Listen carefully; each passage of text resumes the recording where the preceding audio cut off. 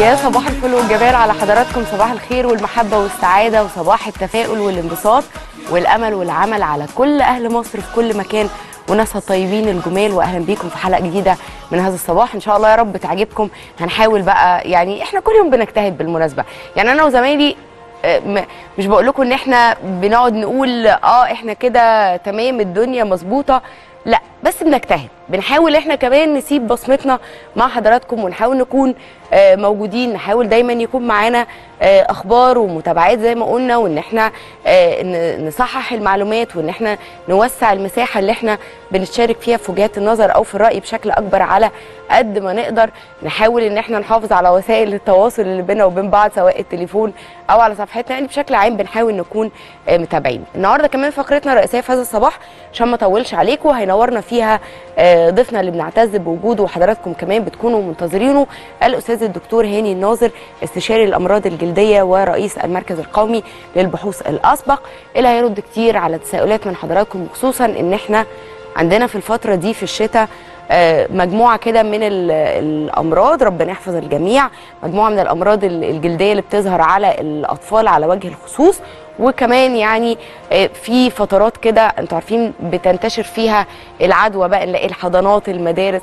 ربنا يسترها. عموما النهارده آه، هنجيب لحضراتكم كتير جدا من الموضوعات. وأي حد من حضراتكم عنده استفسار لدكتور هاني آه، ممكن يبعت لنا الصورة آه، آه، بتاعه آه، لأنه بيبقى مهم جدا لو حد بيسأل على حاجة معينة ممكن تبعتوا لنا من دلوقتي الصورة على صفحة برنامجنا صفحة برنامج هذا الصباح على الفيسبوك وإحنا كمان آه، هنرد على حضراتكم آه، فيها على طول في فقرتنا مع الدكتور هاني وكمان هنكون live على صفحة Extra News وهنستقبل برضو أسئلة حضراتكم على ال social media على صفحتنا على الفيسبوك. إن شاء الله بإذن الله خير. هبدأ بقى قبل ما أدخل في أخبارنا آه النهارده. أنتوا عارفين بصوا حبة أخبار ورق كتير كده. آه هرد على موضوع مهم. امبارح آه آه أنا كنت اتكلمت على آه مسألة دراسات الجدوى وليه سيادة الرئيس صرح وقال إن إحنا لو هننفذ 25 يعني لو التزمنا بدراسات الجدوى هننفذ 25% بس من المشروعات. وقلت لكم إنه بيبقى فيه أولويات وهدف المشروعات القومية اللي اتعمل في مصر. كان الهدف منه في المقام الأول هو إنك تنقذ الإنسان المصري. توفر له بيئة كويسة يعيش فيها في المقام الأول. توفر له آه، سكن آمن آه، آه، ونظيف. توفر له مصادر طاقة لأن إحنا يكون عندنا وضع متردي سيء جدا جدا. عندنا انقطاع دائم في تيارات الكهرباء. عندنا الطرق ما يعلم بيها إلا ربنا. عندنا مش عايزه أكرر نفس الكلام عندنا خارجين من 2013 في وضع اقتصادي متردي نمو اقتصادي آه، آه، منخفض جدا.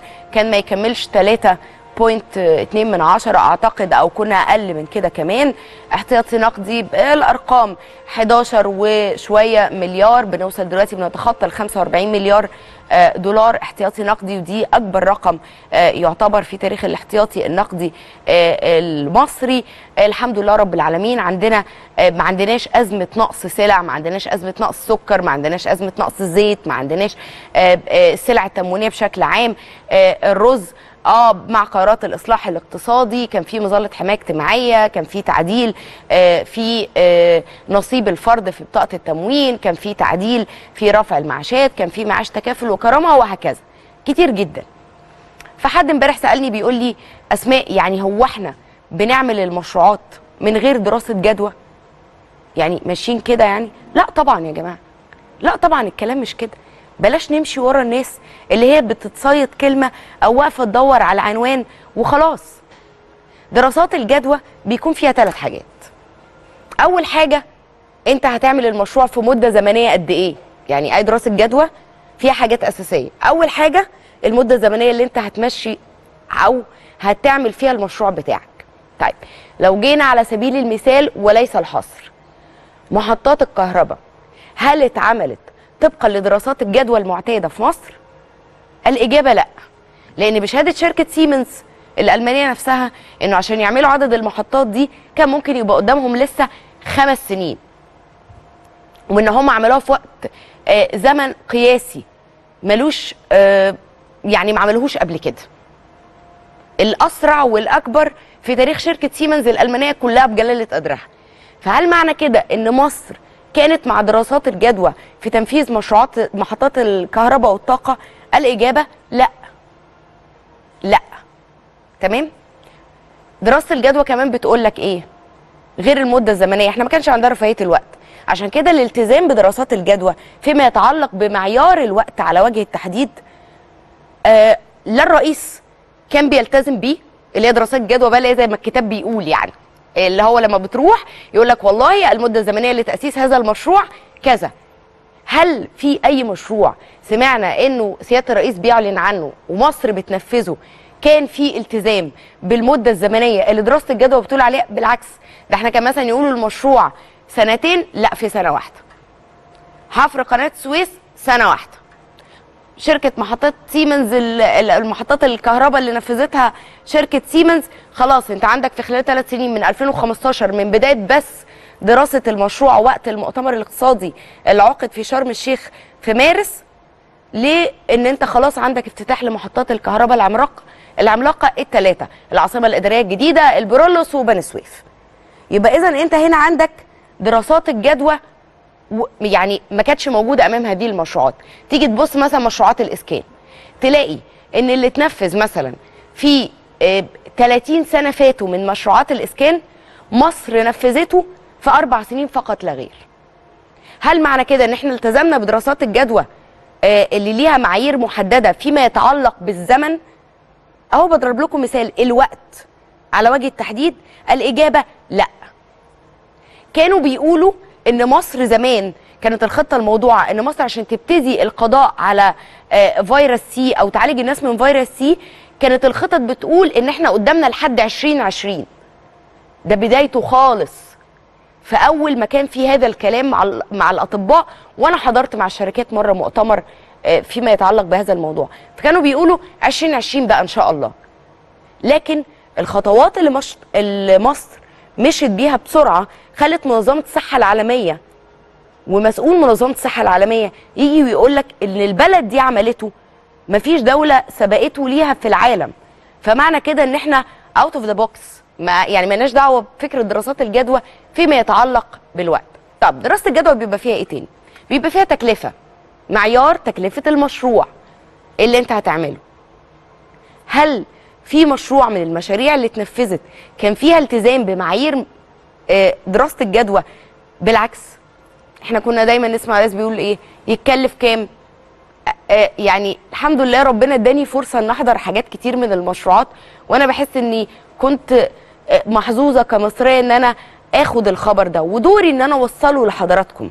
وإن أنا آه، زي ما شفته أقوله. يعني أنا فاكرة لما كان شركة سيمنز متواجدة آه، في مصر آه، دخلوا قعدوا الأول كان آه، وقتها مع وزير التجارة والصناعة طبعا وزير الكهرباء وما إلى ذلك آه، آه، في ذاك الوقت. يعني الساده الوزراء ال- آه، كانوا آه، يعني وقتها مش كلهم طبعا موجودين في ال- ال- الوزارة الحالية. بعد ما قعدوا مع مع الوزراء حطوا تكلفة للمشروع بدراسة جدوى على فكرة. مش يعني ما كانوش بيحطوها بشكل عشوائي. لما راحوا قعدوا مع الرئيس خفض التكلفة. فما مشيش مع مراسة يعني مع دراسة الجدوى اللي كانت معمولة. عشان نخلص بس من ال... من الهري الكتير. فمعنى كده إن إحنا عندنا هل أنا التزمت في دراسة الجدوى بالوقت؟ الإجابة لأ. هل بلتزم في آه، بدراسات الجدوى فيما يتعلق بالتكلفة الموضوعة؟ الإجابة برضو لأ. لأن إحنا ما كانش عندنا لا رفاهية الفلوس ولا رفاهية الوقت. الاثنين ما كانوش موجودين عندنا من الأساس. كنا ما عندناش فلوس ان إحنا نرمي بقى وبسرعة ويلا وكده والكلام ده وفي نفس الوقت بنحاول نسابق الزمن لأن إحنا مش مش هنقدر نفضل واقفين محلك سر في كل الأزمات الكبيرة اللي عندنا واللي إحنا بنعاني منها. طيب نيجي للجزء الثالث اللي بيبقى موجود في دراسات في دراسات الجدوى وهو المتعلق بالربح أو هامش الربح. وهنا ما ينفعش إن إحنا كنا نشتغل بمبدأ التجار ان إحنا بنأسس مشروعات عشان تكسب وبس لأن انت كان لازم تعمل عدد كبير جدا من المشروعات تعملها الدولة ما تستهدفش بيها الربح في بداية تأسيسها على الأقل ولكن تستهدف بيها المواطن المصري العادي. تستهدف من محطات الكهرباء اللي انت هتأسسها وتصرف عليها مش قبل ما تستهدف المستثمر طبعا رائع جدا إنك تكون بتستهدف المستثمر من من إنشاء مشروعات كبيرة زي دي. لكن كان في المقام الأول إني أوفر طاقة تكفي الاستهلاك المحلي جوه مصر. يبقى اذا بداية المشروع ما كانش ليها علاقة خالص بمسألة ال ال المكسب أو الخسارة. لكن كانت ليها علاقة بمسألة بكام وقد إيه والوقت. تجيبوا لنا بقى دراسة جدوى تقول إن المشروع ده كان ممكن يخلص في خمس سنين وتكلفته مش عارفة مليار كام؟ لأ. إحنا في الكل كان لا. كان لازم ما نلتزمش بدراسات الجدوى التقليدية لا في التوقيت ولا في التكلفة ولا كمان فيما يتعلق بهامش الربح. على وجه الإطلاق. عشان كده هتلاقوا مثلا على سبيل المثال مشروعات الإسكان زي ما قلت امبارح. مش كلها مشروعات الدولة عملتها وصرفت عليها عشان هدفها إنها تحقق الربح. عشان حد بيقول لك وإيه لازمته؟ كل شوية ليل ونهار الناس اللي عايزة تكسر في المقاديف يقول لك وإيه لازمته؟ طب وإيه لازمته إن الدولة كانت تعالج الناس وتوفر العلاج بالمجان؟ يا سلام بس كان إيه لازمته إن أنت طول النهار تقول إن الناس بتموت؟ ومش لاقيه الدواء؟ طب هو إيه لازمته انه الرئيس يعمل مبادرة ما فيش قوائم انتظار؟ بس كان إيه لازمته؟ طب ما هو مش دي تكلفة؟ مش دي فلوس؟ مش ده وقت؟ مش ده إحنا بنسابق الزمن عشان صحة الناس؟ ولا كان إيه لازمته إن إحنا نسيب الناس تموت؟ طب كان إيه لازمته إن الدولة تعمل نص مليون وحدة إسكان اجتماعي؟ طب ما كان إيه لازمته إن مصر عايشة في أزمة سكن؟ طب هو كان إيه لازمته إن إحنا نعمل قناة السويس الجديدة؟ طب هو كان إيه لازمته إن إحنا نع- نعمر محور قناة السويس أصلا؟ طب هو كان إيه لازمته إن إحنا نعمل مشروع الأنفاق؟ طب ما إحنا كنا نسيب سينا بدون تعمير. إحنا عندنا أعمار سينا تنمية سينا. عارفين يعني إيه أعمار سينا وتنمية سينا؟ عارفين إيه سينا اللي من 73 بعد العبور والنصر وعودة طابة وعودة الأراضي المصرية بالكامل؟ المناطق دي ما شافتش تنمية؟ كانت الناس علاقتها بسينا إنها تروح شرم الشيخ أو ننزل الغردقة بس. تعتمد على السياحة. أو يعني القله القليله اللي بيروحوا نويبع آه، مرسى علم آه، دهب وهكذا. كان فيها حاجات تنموية قايمة على قطاع السياحة فقط لا غير. طب باقي اهالينا في سينا اللي كانوا موجودين في كل حتة؟ الواقع بيقول إن أخطأنا وأخطأ الأنظمة السابقة عندما سمحوا إن يظل مساحات على أرض سينا مناطق صحراوية بدون تعمير بدون خدمات. طب هو كان إيه لازمته إن الدولة تقول لك إن أنا هعمل أكبر مشروع شبكة طرق قومية على مستوى العالم. إن أنا أخلص في أربع سنين فوق ال 3700 آه، آه، كيلو متر مربع. إن أنا في نفس الوقت أعمل توسع في مشروع مترو الأنفاق فخلص بس دلوقتي اللي اتعمل في عشر سنين قبل كده فاتت. إحنا محتاجين بس نشيل النضارة السوداء كده من حاجات كتير حوالينا. محتاجين بس ما نبصش تحت رجلينا. أنا بكلمكم وأنا واحدة بالمناسبة. ما أخدتش شقة من الإسكان الاجتماعي يعني مش بدافع عن المشروع عشان أنا اخدت شقة. الحمد لله رب العالمين سبحان الذي عافانا ونجانا. ما كنتش محتاجة آه، آه، علاج يعني. لكن أنا في ناس غيري في مصريين معايا على أرض البلد دي استفادوا. ما كنتش ساكنة في منطقة عشوائية و- ورحت في منطقة كبيرة ب- بشقة طول بعرض بارتفاع ب- بفرش. مش بالضرورة إن ال 104 مليون يكونوا استفادوا في نفس التو واللحظة من كل مشروع بيتعمل. لكن كلنا استفدنا إن الكهرباء ما بتقطعش. كلنا. كلنا استفدنا بإن إحنا يبقى عندنا طرق آمنة نمشي عليها ونوفر الوقت. والأهم من كل ده وده يا جماعة محدش يقدر ينسى. عندنا فوق 2.5 مليون عامل مصري رجعوا من الدول اللي أصابها الدمار من ليبيا ومن سوريا ومن العراق. هتشغلوهم فين؟ كنتوا هتوفروا لهم فرص عمل منين؟ أنتوا عارفين كل مشروع بينفذ بي بيوفر فرصة عمل لقد لقد إيه؟ لكام شخص؟ ده لما رحنا بس الحي الحكومي في العاصمة الإدارية الجديدة في شركة واحدة كنت بلاقي ألف عامل في الوردية. الناس نفسها المشاريع دي ما تخلص لأنه بيطلع من شغل يستلم شغل ويا رب ما تخلص. وتخلص ليه؟ هو إحنا قضينا على كل الصحراء وعمرناها عشان نخلص؟ ولا إحنا بس عايزين نسيبها وقر للمجرمين والعناصر الإرهابية الخارجة عن القانون ونفضل قاعدين في الحتة اللي قد كده نزنق على بعض ونضايق في بعض. اللي بقوله آه آه مش عارفة أقول لحضراتكم إيه عليه. لكن حقيقي بجد محتاجين كلنا نقلع النضارة السوداء شوية. محتاجين ما نقعدش نبص الناس بتقول لك كلمة. هل مصر الإجابة طبقا لدراسات الجدوى التزمت بدراسات الجدوى التقليدية في التعامل مع شغلها ومشاريعها؟ الإجابة لأ يا فندم. وما أعلن عنه الرئيس صحيح. مليون المية. لأن دراسات الجدوى بتقول لك وقت وتكلفة وربح.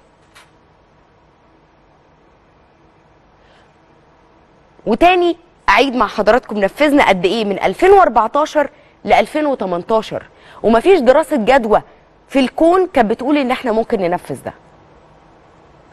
عندك عدد المشروعات اللي اتنفذت فعلا وإحنا قلنا الأرقام دي قبل كده.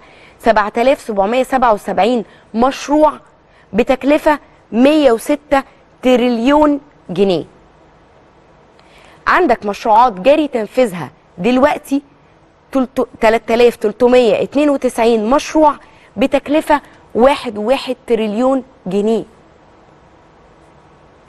عندك عدد مشروعات مخطط لتنفيذها 4131 مشروع بتكلفة 0.7 تريليون جنيه.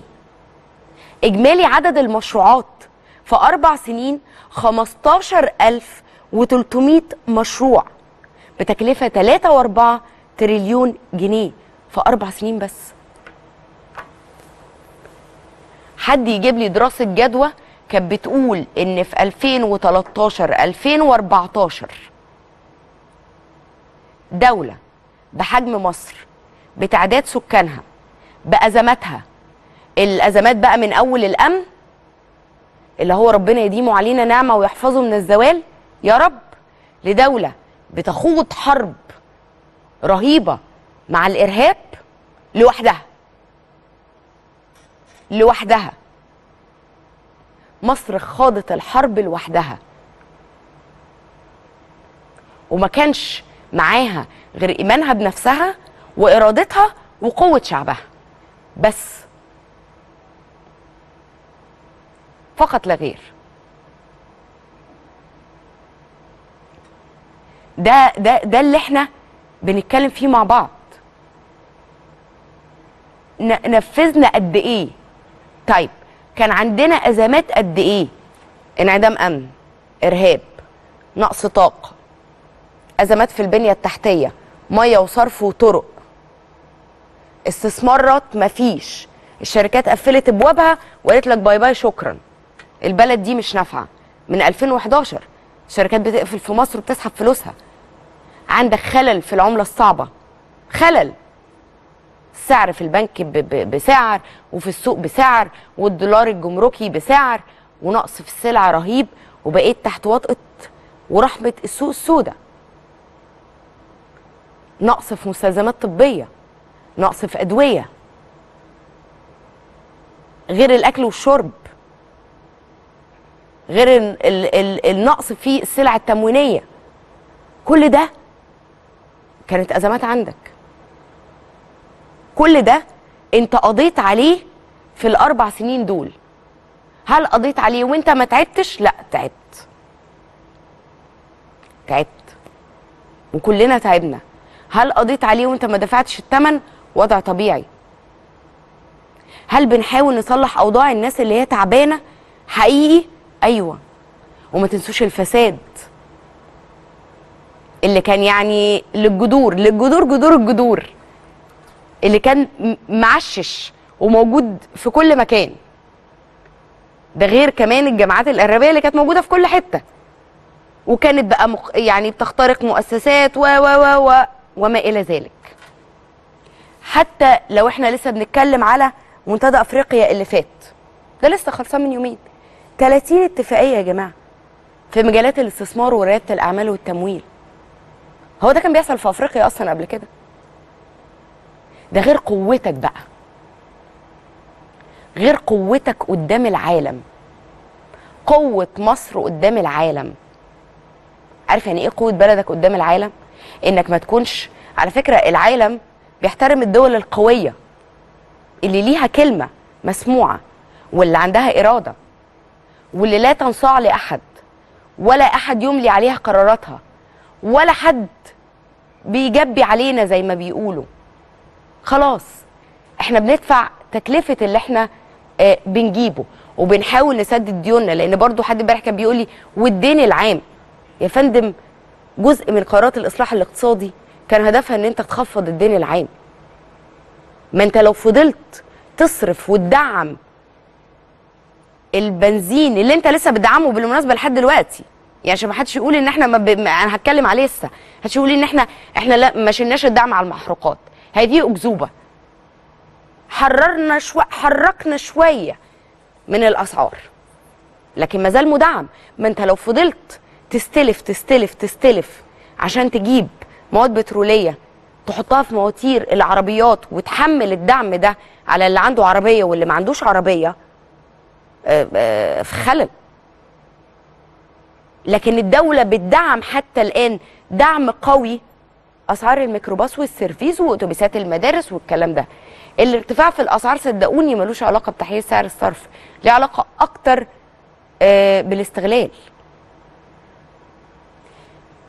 أرجو أن أنا أكون يعني قدر الإمكان أني قدرت أوضح الصورة للناس على قد ما أقدر.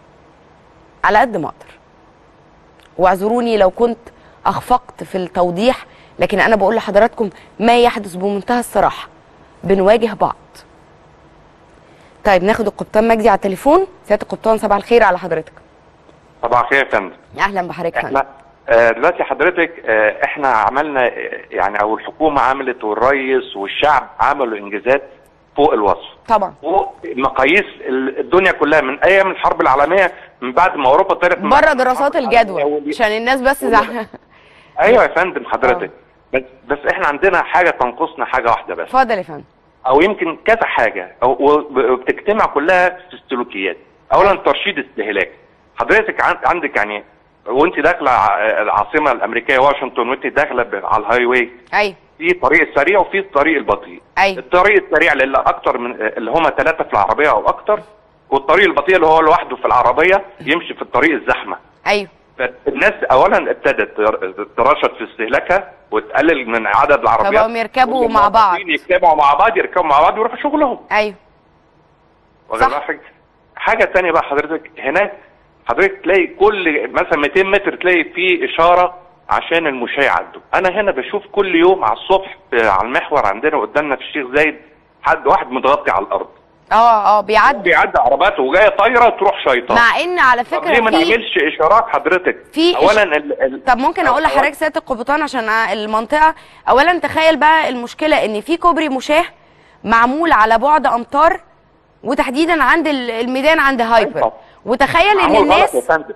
ما بتت... ليه معمول غلط ليه؟ عالي جدا حضرتك. في ناس كبار مش قادرين يطلعوا. دي عندك حق. آه في حضرتك معمول غلط. حضرتك هناك في أمريكا أنا في الولاية اللي أنا عاي- عايش فيها هناك في ال- Boston Street اللي هو الشارع الرئيسي في الولاية. كل ما بنمشي كل 200 متر تلاقي فيه إشارة. أنا أنا أنا بص حضرتك ده عندك حق. أنا أتمنى إن ده يحصل. بأسرع وقت ولكن ده برضو أكيد مرتبط بتكلفة. وزي ما قلت لك المسألة مسألة أولويات. يعني كان هدفنا ننقذ الإنسان. الأول وجزء طبعا من الإشارات وتنظيم حركة المرور ده أكيد فيه سلامة لل- للمواطنين. وأنا أتمنى إنه القائمين على رئيس جهاز مدينة 6 أكتوبر إن هو يشوف موضوع ال- السلم ده ويتم توفير وسيلة للناس عشان تستخدمه من كبار السن. مع إنه والله اللي بشوفهم ساعات بيعدوا الشارع مش كبار سن ولا حاجة. أنا ب... ب... يعني أنا بعدي من عند المنطقة دي كتير. بلاقي مش كبار سن ولا حاجة. بلاقي شباب وناس صغيرة مستني اللحظة اللي يعني هيجري فيها من قدام ال- العربيات. فانا أتمنى إنه ده يحصل مع حضرتك وأتمنى إنه آه، آه، يكون في تنظيم أكتر لمناطق عبور المشاة في المناطق المختلفة. يا ريت. طب بمناسبة كلامنا امبارح أنا وقفت قدام فيديو كتير من الناس مشيراه فيديو ده كان للأستاذ الدكتور طبعا العالم الكبير المصري اللي إحنا بنعتز بيه جدا كلنا الدكتور فاروق الباز. دكتور فاروق الباز كان بيتكلم في الفيديو ده عن حال البحث العلمي في مصر في الستينات واللي كانت فيه الدولة بتقوم بتعيين العلماء في وظائف بعيدة عن تخصصاتهم. وإنه رفض ده لما آه، آه، آه، قالوا له تعالى زمان اتوظف ما استحملش ان احلامه تموت آه، قدام عينيه لدرجة انه آه، آه، خاف من من كتر القهر لا يجرى له حاجة. الحقيقة انه هذا الكلام زي ما قلت لكم قاله العالم المصري الجليل الكبير الدكتور فاروق الباز اللي محدش ابدا يقدر ينكر ان الفيديو ده كلامه فيه صحيح. لكننا في الوقت نفسه ولأننا في هذا الوقت على وجه التحديد كنا بنتعامل مع البحث العلمي على إنه ركس من عمل الشيطان. وأحب أضيف للدكتور فاروق الباس كمان إن الوضع المأساوي ده ما كانش في ستينات القرن الماضي بس لكنه كمان استمر لحد الألفية الجديدة وعشان نكون محددين لحد من كام سنة فاتوا. بس أنا الغريب بالنسبة لي نشر الكلام ده تاني دلوقتي باعتباره واقع بنعيشه. الإجابة أنه لم يصبح الواقع كما كان. هل وصلنا للدرجة المثالية منه؟ الإجابة برضو لأ. لكن ما بقيناش عايشين بنفس الطريقة اللي الفيديو بيعاد إذاعته بيها على مواقع التواصل الاجتماعي. الصورة اتغيرت تماما في الأربع سنين اللي فاتوا. وهقول لكم برضو إيه معيار إن إحنا نقول إنها اتغيرت. زي ما مصر اتغيرت وعلمائها الكبار ما بقوش يهربوا منها زي زمان عشان يحققوا أحلامهم في البحث العلمي والابتكار. مبادرة زي مصر تستطيع. اللي شفنا مشاركة مئات العلماء المصريين اللي جم من كل دول العالم عشان يشاركوا فيها. طيب هما لو مش شايفين إن في اهتمام بالبحث العلمي وإن حصل تغيير في البلد دي ما كناش شفناهم أصلا. طب عايزين دليل تاني على عودة الطيور المهاجرة زي ما بيتقال عليهم مع إني أنا ما بحبش المصطلح ده. ومنهم طبعا دكتور فاروق الباز المهندس الكبير آه، هاني عازر اللي طبعا كلهم لا انفصلوا عن وطنهم ولا لحظة واحدة طول الوقت. واللي بي بي بيلبي نداء بلده بمبادرات شخصية منه. طب خلينا نبص على مشروع الضبعة النووي. ما ده برضو مشروع كبير كانوا بيقولوا إيه لازمته. إن يبقى عندنا تنوع في مصادر الطاقة. طيب وإن إحنا يبقى عندنا مدرسة تطلع ولادنا وشبابنا قادرين يشتغلوا في المشروعات دي. طب مين اللي جه واشتغل في المشروع ده؟ علماء مصر اللي موجودين في الخارج. وأنا اتشرفت قبل كده إني قابلت مجموعة منهم. وإن. وإن مصر تستفيد بخبرات العلماء المصريين المتخصصين في تكنولوجيا الطاقة النووية. واللي شاركوا في كل كبيرة وكل صغيرة. وتحديدا إجراءات الأمان للمفاعل النووي وغيرها من التفاصيل الدقيقة اللي يعني اللي أكيد أنا يعني معرفهاش اللي أفادونا بيها قبل توقيع الاتفاقية مع الجانب الروسي. ولو بقينا منصفين وبنقول كلمة حق فلازم نقول إنه هذا الاتجاه أو الاهتمام بالبحث العلمي ما بدأش إلا من الأربع سنين اللي فاتوا لما الرئيس عبد الفتاح السيسي تولى إدارة البلاد وقال يا جماعة نأسس المجلس الاستشاري العلمي. وقتها ما كانش عندنا حاجة بالمسمى ده أصلا. إن الدولة تهتم بإنشاء جامعات جديدة. ومش جامعات جديدة بس لا إنها تكون جامعات جديدة ومتخصصة في مجالات جديدة. العالم كله العالم كله بيسعى للتطلع إليها. ونبدأ بالمدارس الفنية ونعمل مدرسة الضبعه النووية وندخل نظبط مشروع مدينة زويل اللي كان يعني يبتدي هذا المشروع يلاقي الدعم وجامعة النيل وإن يبقى في جامعات متخصصة في تكنولوجيا المعلومات لسه. كنا حالا من كام شهر كنا لسه بنتكلم عن القرار ده مع وزير التعليم العالي والبحث العلمي دكتور خالد عبد الغفار. انه يبقى في الجامعات التكنولوجية في مصر المتخصصة في مجالات العالم كله بيشتغل عليها. إنك تروح لطلبة الجامعات والمدارس وتبتدي تعمل لهم منح. إنك تلاقي ناس منهم يا جماعة بتتكرم في منتديات ومؤتمرات الشباب. أصلا ما كناش بنسمع عنهم. خالص. فمش لازم لما نلاقي فيديو زي ده نرجع تاني زي ما قلت في بداية الحلقة. نلبس النضارة السوداء بعد ما قلعناها ونشوف حاجة غير الحقيقة. اللي بنقول إن الاهتمام بالبحث العلمي في مصر ما بقاش مجرد كلام وخلاص. بدليل انه رئيس الجمهورية أصدر قرار برفع ميزانية البحث العلمي السنة دي من 17 مليار جنيه ل 21 مليار جنيه بزيادة. قدرها 4 مليار جنيه في سنة واحدة. تعالوا أرجع حضراتكم لحديث الرئيس آه، عبد الفتاح السيسي في افتتاح المؤتمر القومي للبحث العلمي من كام شهر. هنلاقي فيه قد إيه كان فيه تأكيد إن البحث العلمي في مصر ما بقاش رفاهية. يعني إنك تدخل هذا المجال وده جزء من استراتيجية الدولة المصرية نحو تحقيق استراتيجية التنمية المستدامة. العقول المصرية المتميزة اللي تقدر تخلق حلول كتير جدا لمشاكلنا اللي إحنا يعني بنعاني منها بالتفكير خارج الصندوق. دي الحصان الرابح اللي راهن عليه رئيس الدولة. عشان كده شعار ال- ال- ال- المؤتمر هو إطلاق طاقات المصريين. ولو رجعنا سنة كمان لورا تحديدا في الاحتفال بعيد العلم اللي إحنا برضو ما كناش بنشوف يعني الاحتفال بقرارات وتوصيات آه يعني بهذا الشكل. على فكرة ده كان في تجاهل كبير وطويل لعيد العلم. هنلاقي إنه في تكليف لرئيس الوزراء من رئيس الجمهورية بالبحث العلمي بإنشاء كمان صندوق لرعاية المبتكرين والنوابغ في مصر. عندنا قرار بإنشاء مدينة العلوم والابتكار في العاصمة الإدارية الجديدة. مش بس كده قرار بمضاعفة الجوائز العلمية منح أربع جوائز جديدة للمبتكرين بقيمة 250 ألف جنيه. فلو الناس مش شايفة ده أو مش عايزة تشوفه أو مش مصدقة الكلام ده فخلينا نشوف رأي رجال البحث العلمي. وهنا أنا هستشهد بتصريح للدكتور محمود صقر رئيس أكاديمية البحث العلمي والتكنولوجيا. لما كان بيتكلم على إنه رئيس دفع الدولة للاهتمام بالبحث العلمي وده ساهم في معدلات عدد العلماء اللي كانوا بيسيبوا مصر ويمشوا. يعني كل سنة كان بيبقى الناس عارفة إنه في عدد مثلا من العلماء أو الأساتذة أو أو أو الباحثين سافروا. مع كل سنة المعدل ده بيقل. يبقى أهم حاجة عشان كانت العقول دي يعني تفضل في مصر ما تمشيش وما يتحولوش لطيور مهاجرة إن المناخ يكون مناسب. إن المناخ يكون مهم لتوطين العقول المصرية. عشان كده مهم قوي إنه الدولة تدعم كل ما يتعلق بالبحث العلمي والابتكار ماديا ومعنويا وده بيحصل. أنا ما قدرتش أستوعب إن إحنا نعيد لنفس هذا الكلام ده تاني. أو ليه الناس بتنشره تاني؟ هو أي إحباط والسلام. أي حاجة نقول إنها وحشة. أي حاجة نقول نقعد نبص النص الفاضي.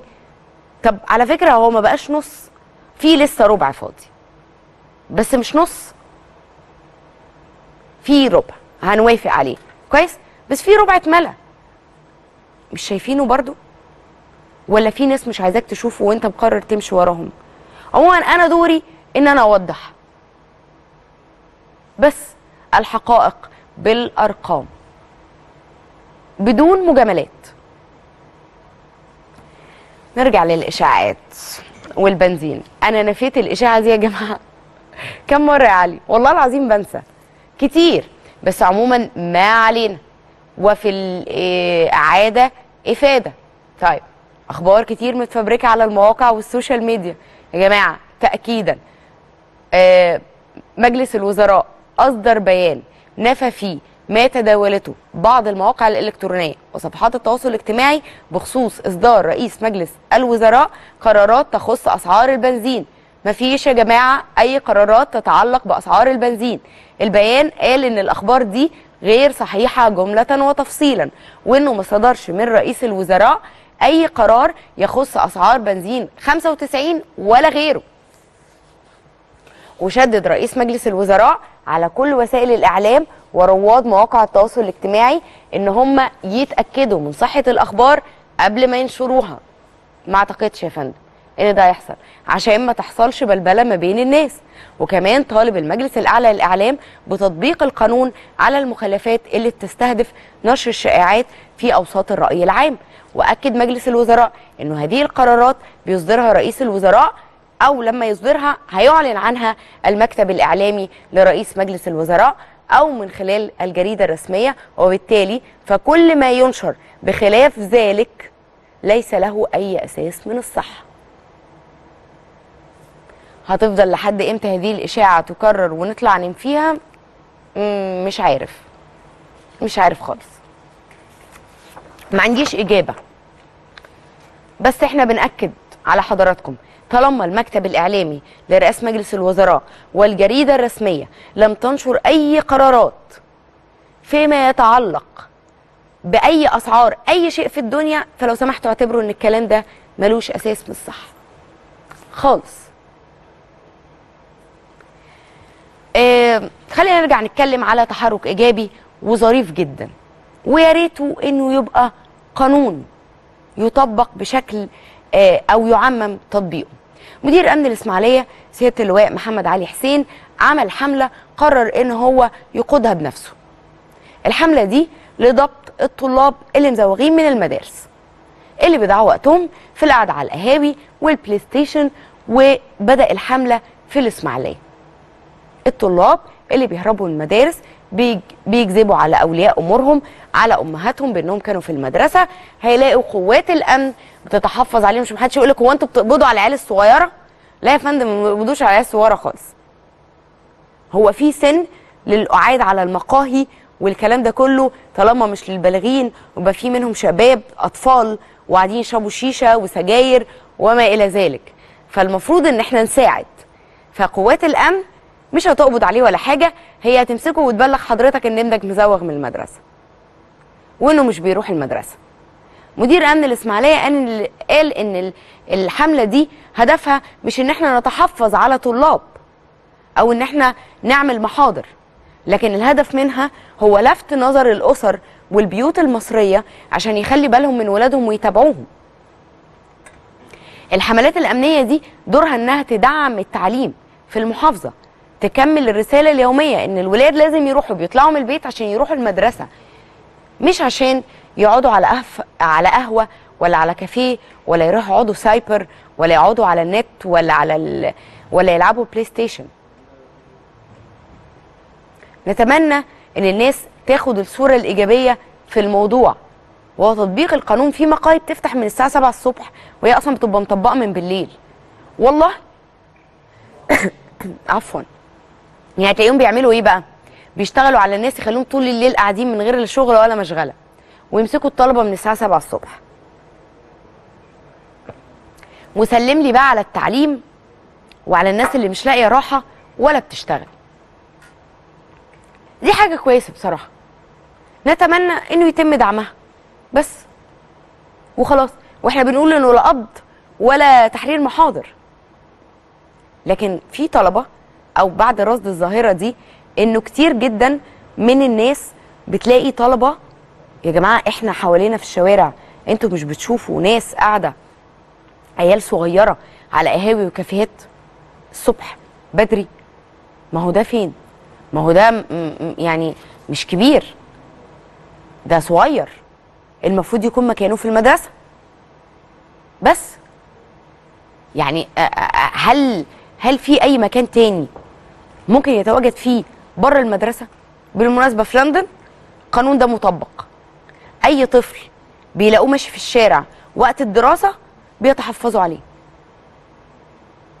بيتحفظوا عليه بقوة القانون. ولو لقوا بقى إن والده ووالدته هما اللي مقصرين في إنه ما يروحش المدرسة أو مخلينه ما يروحش المدرسة بيروحوا على طول متحفظين على الطفل نفسه. ما بيسلموش لوالده ووالدته إلا بعد أخصائي ورعاية وكلام من ده. ما بي ما بيرضوش يسلموه لهم تاني خالص. ناخد طيب عم علي معانا على التليفون. عم علي صباح الخير. بقول لحضرتك الصورة اللي حضرتك لسه نشرها دي. أنهي صورة؟ نشكر مدير الأمن في إسماعيلية. آه آه الإسماعيلية آه. ومن فضلك قولي له من فضلك قولي له من فضلك كمان مرة قولي له الصورة ناقصة حلاق. ما حلاق تستدعيش آه ما تستدعيش. آه. ولي أمر. دولت يروحوا حالقين زيرو لأهاليهم. بس أنت عارف ده ده. وأهاليهم هيعرفوا. طب خلاص يا عم علي هم قاليهم يعملوا كده لكن مش من حق إن لا من حقه. ده مربي. ده راجل مربي عنده أولاد. معلش مش عايزين عشان الناس كده جاب دولت. أيوه مش عايزين الناس تبوظ ما الدنيا. غيره بس. في محافظات تانية ما بيعملش كده. ده يجيب مكنة حلاقة وحلاق والعيال تروح لأهاليها زيرو.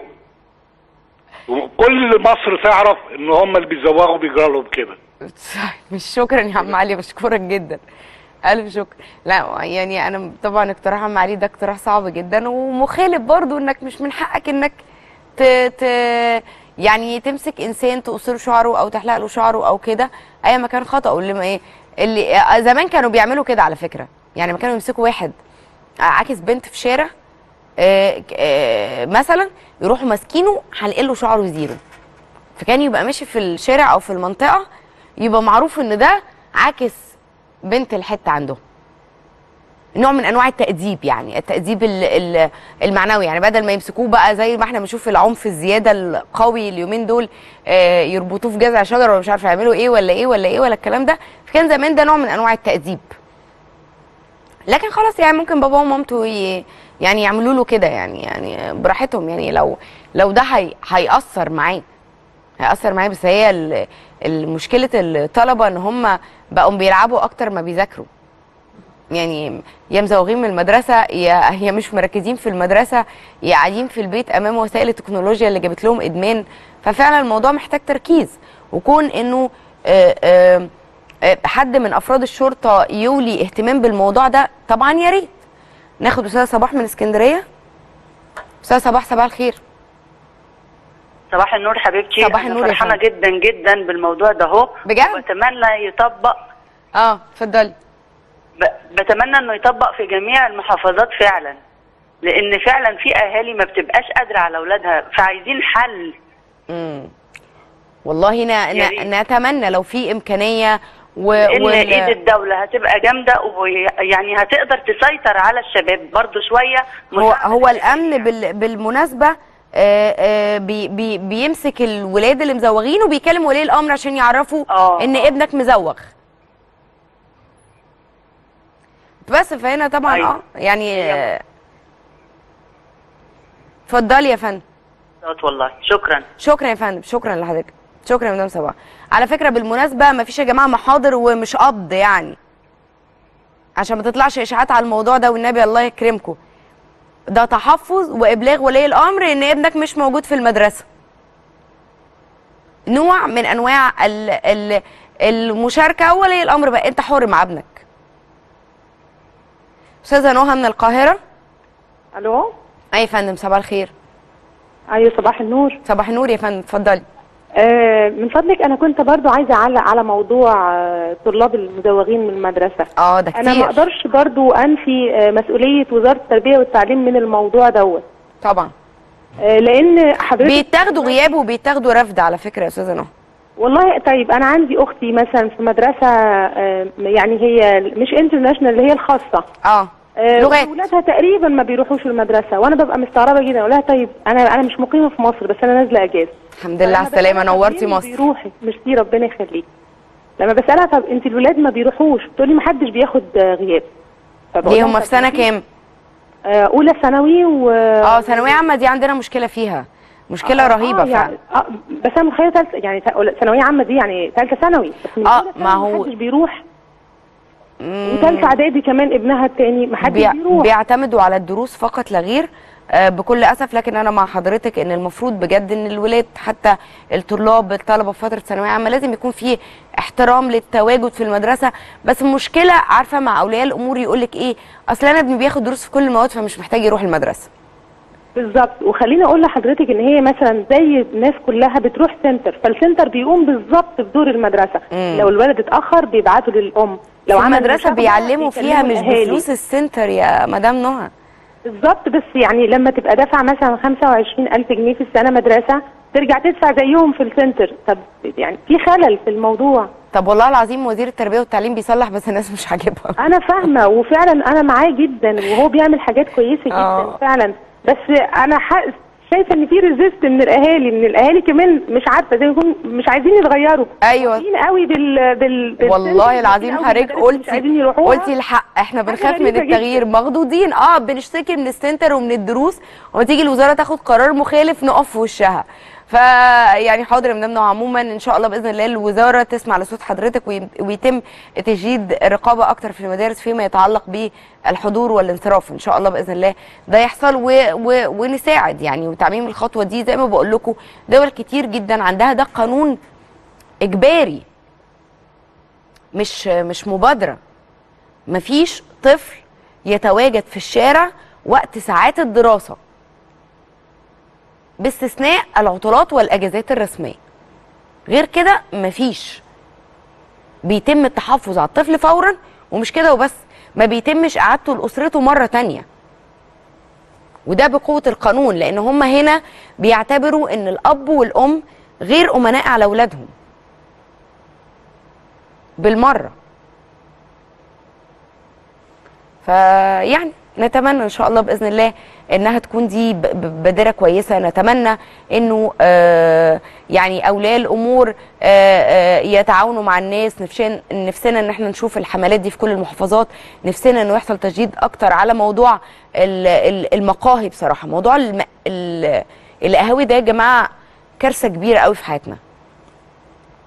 القهاوي والكافيهات زي ما بقول لكم طول الليل الناس قاعدة عليها فعاملة إزعاج لسكان البيوت والعمارات بشكل بشع وطلب عليها من الصبح من الساعة 7 و6 الصبح قاعدين على الكافيه مزوغين من المدرسة. أستاذ خالد طيب من القاهرة. أستاذ خالد؟ الحقيقة أنا مبسوط جدا جدا جدا بال آه، بالحملة دي ويا ريت آه، إنها تعمم على آه، مصر كلها. لأن. الأولاد دول تواجدهم في الشارع بي- بيعملوا إيه؟ يا إما بيشربوا حاجة يا إما بيتع... بيعملوا شيء مش مظبوط. صح. وإحنا بنحافظ على أولادنا عشان ما يبقوش آه، مادة خصبة ل- لأي شيء متطرف أو طبعا. شيء موجود هم موجودين في الشارع. أي حد إن هو مادة سهلة وضعيفة ممكن يدخلوا لهم بيها. المخدرات ال- التطرف صح. أي شكل من الأشكال. صح. آه، هم في الشارع ما فيش ديسيبلين ما فيش آه، حاجة ب- ب- بتحكمهم. صح. فأرجو أرجو إن آه، سيادة الرئيس والحكومة تعمم ده على الكل. إحنا وإحنا أطفال صغيرين كان معايا صديق وكان راجل محترم جدا وكنا ناس محترمين يعني. ومرة عاكس.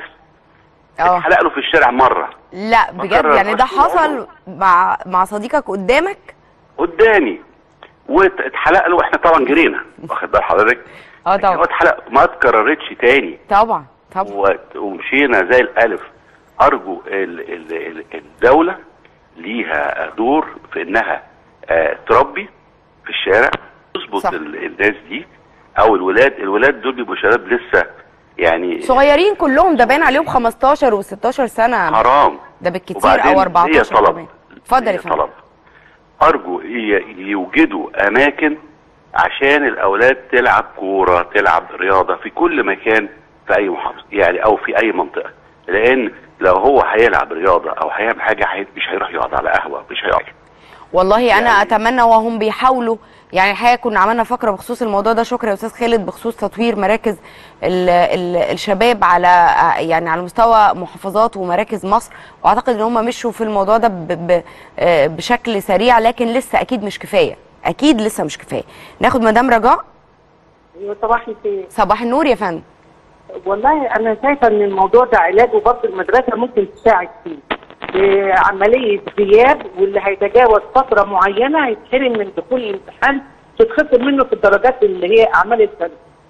آه هو ده بيحصل. بس في يعني هو ما بيتحرمش من دخول الامتحان بس ممكن يخسر جزء من أعمال السنة. بس في ناس مش هاممها يعني يقول لك ما أنا بديله دروس في كل المواد. لا مش فات بديله هيتحرم من دخول الامتحان أصلا لو تجاوز فترة معينة في الغياب. فتره الغياب الغياب آه لأن فعلا الغياب لو اتمسك من المدارس ودي شكوى من زمان جدا وبالذات في بتوع الثانوي آه، ال- القصة دي هتنتهي. صح. الغياب ده من المدرسة يتابع ويبعته لولي الأمر ابنك تجاوز الفترة الفلانية على أساسه مش هيدخل المشكلة المشكلة إن أولياء الأمور ساعات هم اللي بيروحوا يعملوا تحايل على القانون وشكا. ويضربوا شهادات مرضي وحاجات كده. ويا جماعة ده بيحصل. مش مش هننكر. ما هو البيت نفسه مقتنع إن المدرسة ملهاش لازمة. نص المشاكل اللي بعاني منها اللي الولاد اللي في الشوارع دول هم بيتعلموا. إحنا بنصرف أحسن مصاريف عليهم آه. وبنطلقهم أحسن لعب وأحسن موبايلات واحسن بيخلطوا آه بيخلطوا في القهاوي على ناس من المستوى بتاعهم وناس أقل وناس عايزين يضيعوا. يعني ربنا يسترها يا مدام رجاء بس اقتراح حضرتك برضو والله ما أعرفش آلية تنفيذه ده طبعا أمر متروك لل يعني للجهات المسؤولة يعني. آه، أستاذ أستاذ أحمد من الشرقيه أستاذ أحمد؟ السلام عليكم يا. وعليكم السلام ورحمة الله وبركاته فندم. هو منظومة التزويغ من المدارس برضه بيتشارك فيها وزارة التربية والتعليم. تمام. لأن حضرتك لما بيجي الطالب بيزوغ المدرسة ما بيروحش المدرسة. يعني إحنا لسه ما وصلناش ال term التاني إحنا لسه في ال term الأولاني. ونص الطلبة اللي في تالتة إعدادي أو في تالتة ثانوي أو في تالتة تجارة أو في تالتة صنايع أو تلات أرباعهم ما بيروحوش المدرسة. ليه؟ لأنه مش خايف إنه آخر السنة يتحرم من الامتحان.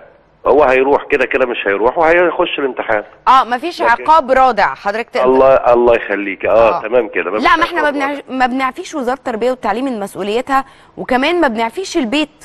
آه هو من, من مسؤولية اصل هي كله على بعضه يعني. البيت حضرتك مش مقصر من دروس إلى إلى إلى إلى أنت عارف الكلام ده كله يعني. ولكن الطلبة ما بتروحش بتروح عند المدرسة وتقف بره بره السور وما حدش بيخش. صح. لو هو عارف إن هو مش هيخش الامتحان فعلا وهترضعه وزارة يعني حضرتك مع. قرار انه الطالب اللي مش هيلتزم بالمدرسة. أو هيغيب عن حد معين يحرم من دخول الامتحان. بالظبط كده. لكن هو عارف إن هو في آخر السنة خلاص كتب الاستمارات وخلاص مضى خلاص مش رايح. وده بتساعد في المدرسين برضه عشان خاطر يزاولوا دروسهم ال- الدروس الخصوصية. الكلام كده كله المنظومه مش عارف سبحان الله ربنا يهدي الناس. يا رب يا أستاذ أحمد بشكر حضرتك جدا. أستاذ أستاذ هاني من الجيزة. آه السلام عليكم. وعليكم السلام ورحمة الله وبركاته فندم. طبعا أنا مع الحملة دي ومشكور من كل من قام بالحملة دي. بس حضرتك بالنسبة للطالب أنا شايف إن كلهم طلبة صغيرين. آه. هل فين العقاب للبيت نفسه؟ البيت نفسه أنتوا بتلومي المدرسة بتلومي ال- أنا بلوم بلوم. كل بلوم الطرفين الحقيقة لا أنا ب... أنا عايز عقاب للبيت أنا عايز عقاب للأسرة آه ما أنا قلت في دول ولي بتطبق عقاب على الأسرة لكن إحنا ما عندناش القانون ده يعني يعني ما عندناش الطالب الجزئية دي. الطالب ما هو ما لقاش تربية ما لقاش توجيه ما لقاش نموذج قدامه مين اللي قال له ده طالب صغير 12 سنة و14 سنة و15 سنة؟ مين وجهه؟ ده لسه طفل. بص يا أستاذ هاني هم ابتدوا يعملوا ده في المدارس اليابانية تمام؟ وإن الأب نفسه يكون أو ولي الأمر نفسه ليه عدد آه، حضور ساعات معين كمان داخل ال- المدرسة هو شخصيا عشان آه، بيكون ملم بكل اللي بيحصل مع ابنه في المدرسة. لكن إحنا بنحاول أنت بتحاول تعدل يعني أستاذ هاني موضوع ثقافة رهيبة جدا ما بين الناس اللي خلاص بقت خلاص عندها قناعة إن المدرسة ملهاش لازمة وخصوصا في مراحل الدراسة الثانوي. مين آه، اللي عنده قناعة آه، حضرتك بعض الأسر. الاسره أيوه. مش الطالب. الطالب ده لسه أنا بعلمه. أيوه يا فندم ما. هي الأسرة خلاص ما أنا كأسرة يعني مهت... مش مهتمة إن ابني يروح المدرسة. بالطبيعي هو مش هيكون مهتم إنه يروح المدرسة هو كمان. ده أكيد.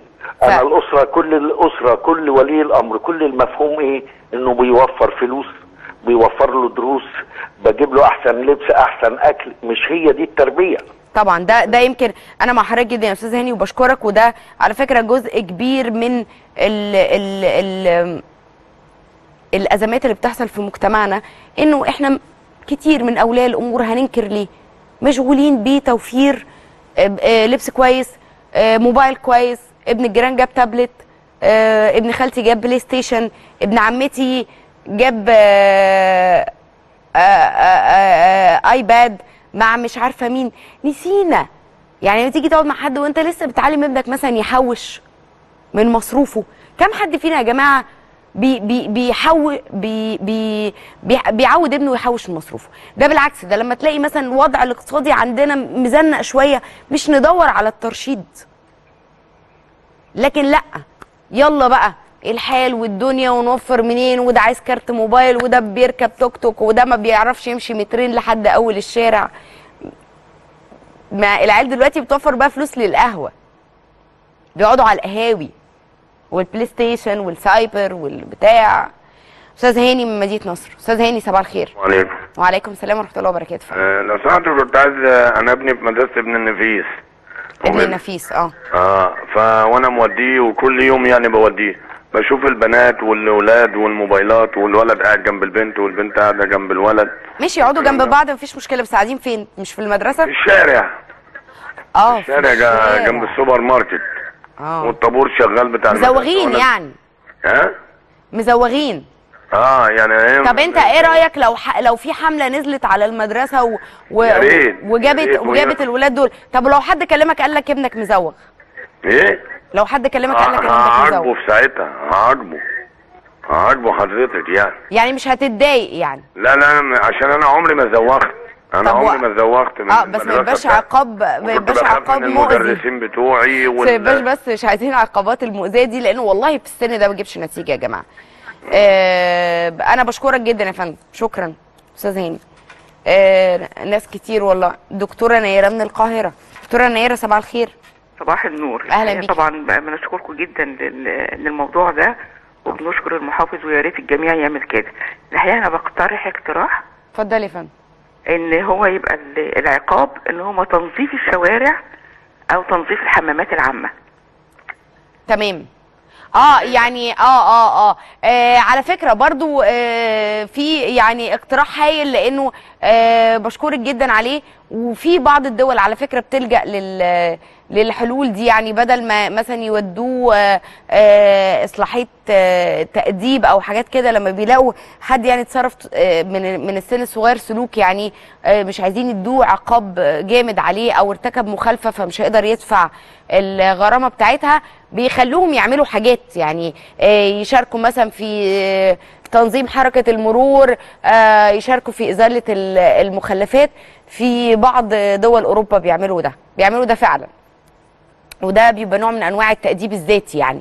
إنك آه، مش بس أخدك أح آه، أحطك تحت الإقامة الجبرية في مكان أو أحبسك أو أديك إصلاحية أو أو أو الكلام ده كله بقدر ما أنا بنزلك تشتغل آه، وده بيبقى فترة تنفيذ عقوبة فلازم تلتزم بيه. يعني لو ما التزمتش بيه بتتحول للسجن أو مؤسسة الإصلاح على طول. مدام أم كريم أم كريم صباح الخير. صباح النور عليك يا حضرتك. أهلا بيك يا أم كريم. أه- أهلا بحضرتك. أنا دلوقتي بتكلم عن الموضوع بتاع المدرسة مزوغين من المدرسة. أيوه. اولا أنا مدرسة أولادي كلهم في أسيوط. ماشي؟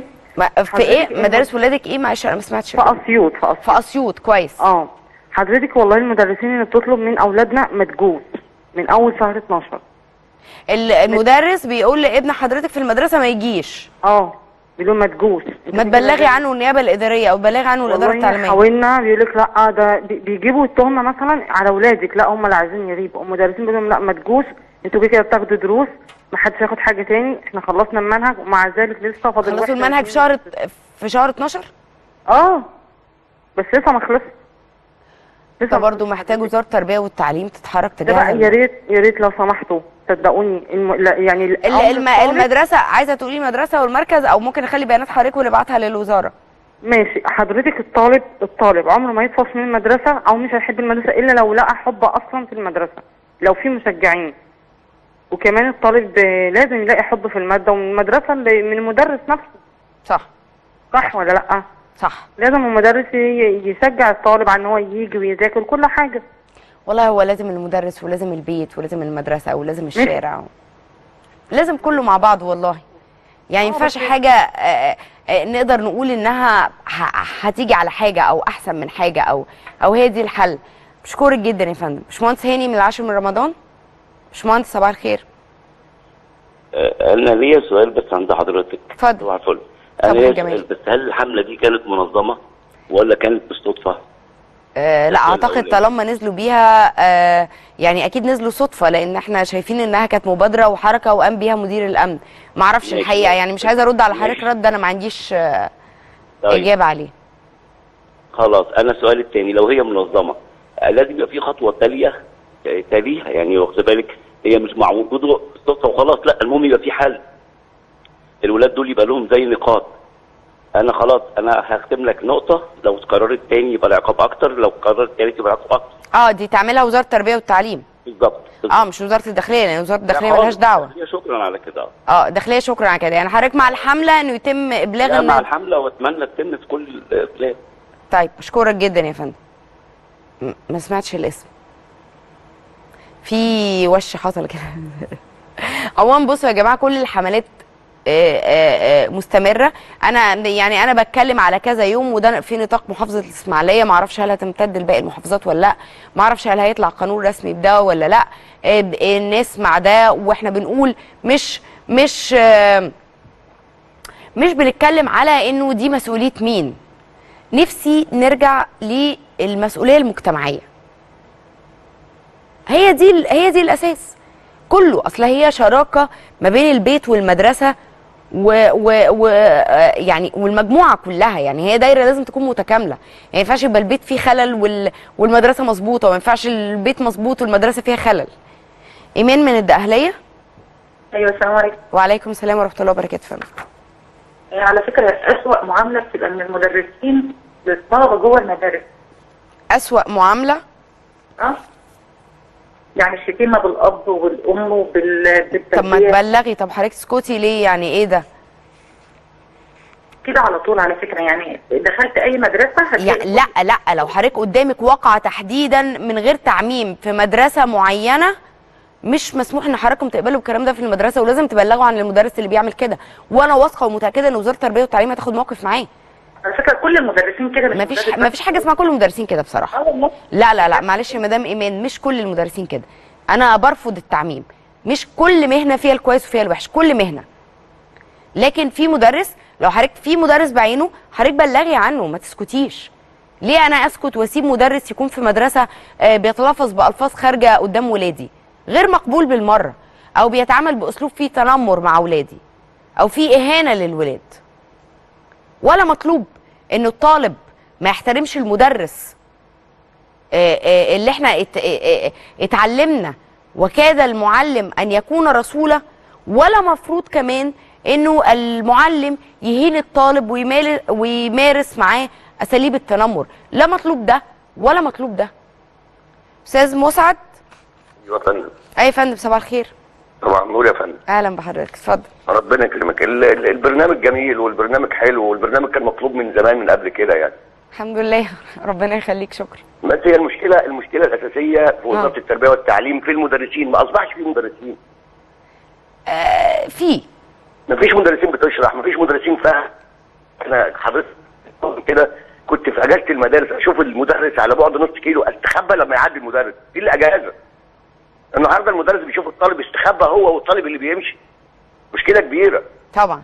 بس أنا عايزة أقول لحضرتك. على حاجة. يعني أنا برضو خليني أقول لك الجزء اللي بقى اللي بقى مليان في حياتنا إنه إحنا عندنا اهتمام دلوقتي من الدولة بإن هي تطور حال المدرس وتعمل له عمليات تأهيل كتير. طبعا ده مشروع كبير. ابتدوا ب ألف مدرس ولسه مكملين وفي دورات تدريبية كتير للمدرسين. في مدرسين كويسين جدا. معايا بنت في الثانوية العامة أنا دفعت لها المصاريف وهي ما شافتش المدرسة لغاية دلوقتي. عشان هي مش عايزة تروح ولا حضرتك مش بتوديها ولا المدرس بيقول لها ما تروحش؟ ما فيش حد ما فيش مدرسة من الأساس وما فيش حد بيطالب ولا مدرسة بعتت لي جواب يعني إيه المدرسة قافلة؟ مدرسة فاتحة بس ما فيش طالب بيروح هتروح لوحدها؟ يعني إيه مفيش طالب بيروح؟ هتروح لوحدها؟ المدرسة كلها محدش بيروح المدرسة؟ آه ما حدش بيروح. ومدرسة على شارع الهرم يعني مش مدرسة عادية يعني. مدرسة كبيرة. دي مشكلة كبيرة مشكلة كبيرة عندنا في التعليم وال- والتعليم بيتدنى بسبب المشاكل دي. مفيش ال- للمدرس للطلبة مفيش تحبيب للمدرسة مفيش حافز مفيش مفيش حاجات كتيرة كلها واقعة على عاتق التربية والتعليم والمدرس. أنا مش مقصر مصاريف بدي دروس. على فكرة على فكرة بس أنا أنا بس عندي أزمة في موضوع التعميم. أي مدرس بيخطئ لازم يتحاسب. أي مدرسة ما بتراعيش الطلبة بتوعها. يا فندم؟ حضراتكم لازم تبلغوا الوزارة. لما تبلغ الوزارة والوزارة ما تاخدش موقف ساعتها نلوم الوزارة. لكن المدارس الخاصة المد... أنا عندي بقى يا اطفال فندم خاصة عامة خاصة عامة هي تحت إشراف وزارة التربية والتعليم. تخضع ليه الإشراف الوزارة. بشكرك جدا يا فندم. لازم تبلغوا يا جماعة. لازم تبلغوا. الوزارة هتعرف منين؟ ما هو لو أنا أنا كولي أمر مستسلم إن ده بيحصل وتمام وخلاص وابني في ثانوية عامة ومش عايز يروح المدرسة أو بنتي أو كده مش هيحصل جديد. لكن لو إحنا عايزين نغير لازم نلجأ لوزارة التربية والتعليم. نبلغ آه، آه، آه، نقدر لما تبقى رحت الوزارة وبلغت والوزارة ما خدتش رد فعل ساعتها أقدر أقف وألوم وزارة التربية والتعليم. مدام أمل من القاهرة. ألو؟ أي يا فندم صباح الخير. صباح الخير يا مدام أسماء. أهلا بيك يا فندم اتفضلي. بس يا مدام أسماء هو في في المنظومة كلها حاجة هي مش مش واضحة أو أو ممكن تكون واضحة بس مش عايزة تتصلح امم اولا المدرس لازم هيبته ترجع تاني. طبعا. مش من ال... مش بالفلوس بقى مش بالقوة كمان. لا. لا بس كان ليه؟ ما كان زمان المدرسين بيضربوا وكان الطلبة لا لا لا بصي يا م- بس مدام امل مش- ماشي ماشي أنا مش مش بنقول على الضرب دلوقتي إحنا ما بنتكلمش على الضرب بس لازم هيبة المدرس المدرس لازم هيبة المدرس عمرها ما كانت آه، بأنه مدرس آه، آه، عنيف هيبة المدرس لا أنا ما بتكلمش عن العنف. ولا ان ولا إن إحنا نقول إن إحنا عايزين الضرب في المنا... في المدارس يا أنا مدام ما امل قلتش كده يا مدام اسماء أنا ما قلتش كده أنت بتقولي لي مش بالضرب بقول لك لا كان زمان في ضرب بس كان في هبه ليه بقى؟ كان المدرس بيحترم نفسه وكان بيح... بيجبر الطلبة على احترامه. البيت برضه يا مدام أسماء يعني الأم والأب يقول لك لا ده إحنا بفلوسنا لا مش بفلوسكم. آه دي دي أنا معاكي. دي أنا معاكي. لكن لكن آه يعني بشكرك جدا. عمر هبه المدرس ما هتعود آه بأي نوع بالضرب. الضرب مبدأ مرفوض لا زمان ولا دلوقتي. الضرب ده لا بيربي ولا بيعلم. لا في بيت ولا في مدرسة. مدام إيمان من العبور نريمان مدام نريمان آه أهلا بحضرتك أهلا أيوة. بيكي يا فندم. أهلا اتفضلي. بحضرتك. أنا بس برضه عشان الطلبة المزوجين أنا ابني الحمد لله بيحضر المدرسة عادي جدا. الحمد بس لله. المدرسين هم اللي بيطلبوا منه ما يحضر ما يجوش. الم- المدرس بيقول له ما تجيش. آه آه بيقولوا ما تجوش يعني. هو في ثانوية عامة؟ أولى ثانوي النظام الجديد. آه أولى ثانوي النظام الجديد. النظام الج... طب النظام الجديد وإزاي بيقول له ما تجيش؟ طب والله بيقولوا لهم كده لدرجه إن والله أنا مصدقاكي. طب هل حضرتك ممكن تسيب لنا اسم ابني- المدرسة ممكن تسيب لنا اسم آه، المدرسة؟ آه مدارس عمرو مسعد. مدارس عمرو مسعد؟ الشهيد عمرو مسعد آه. مدارس الشهيد. وأبو بكر الصديق رفعوا الغياب ومدارس أبو بكر الصديق رفعوا الغياب وعلي بن أبي طالب. كلها مدارس رسمية يعني إيه رفع الغياب؟ هم بيقولوا لهم إحنا رفعنا الغياب. طب في ثالثه ثانوي ماشي. أولى ثانوي لأ؟ أولى ثانوي.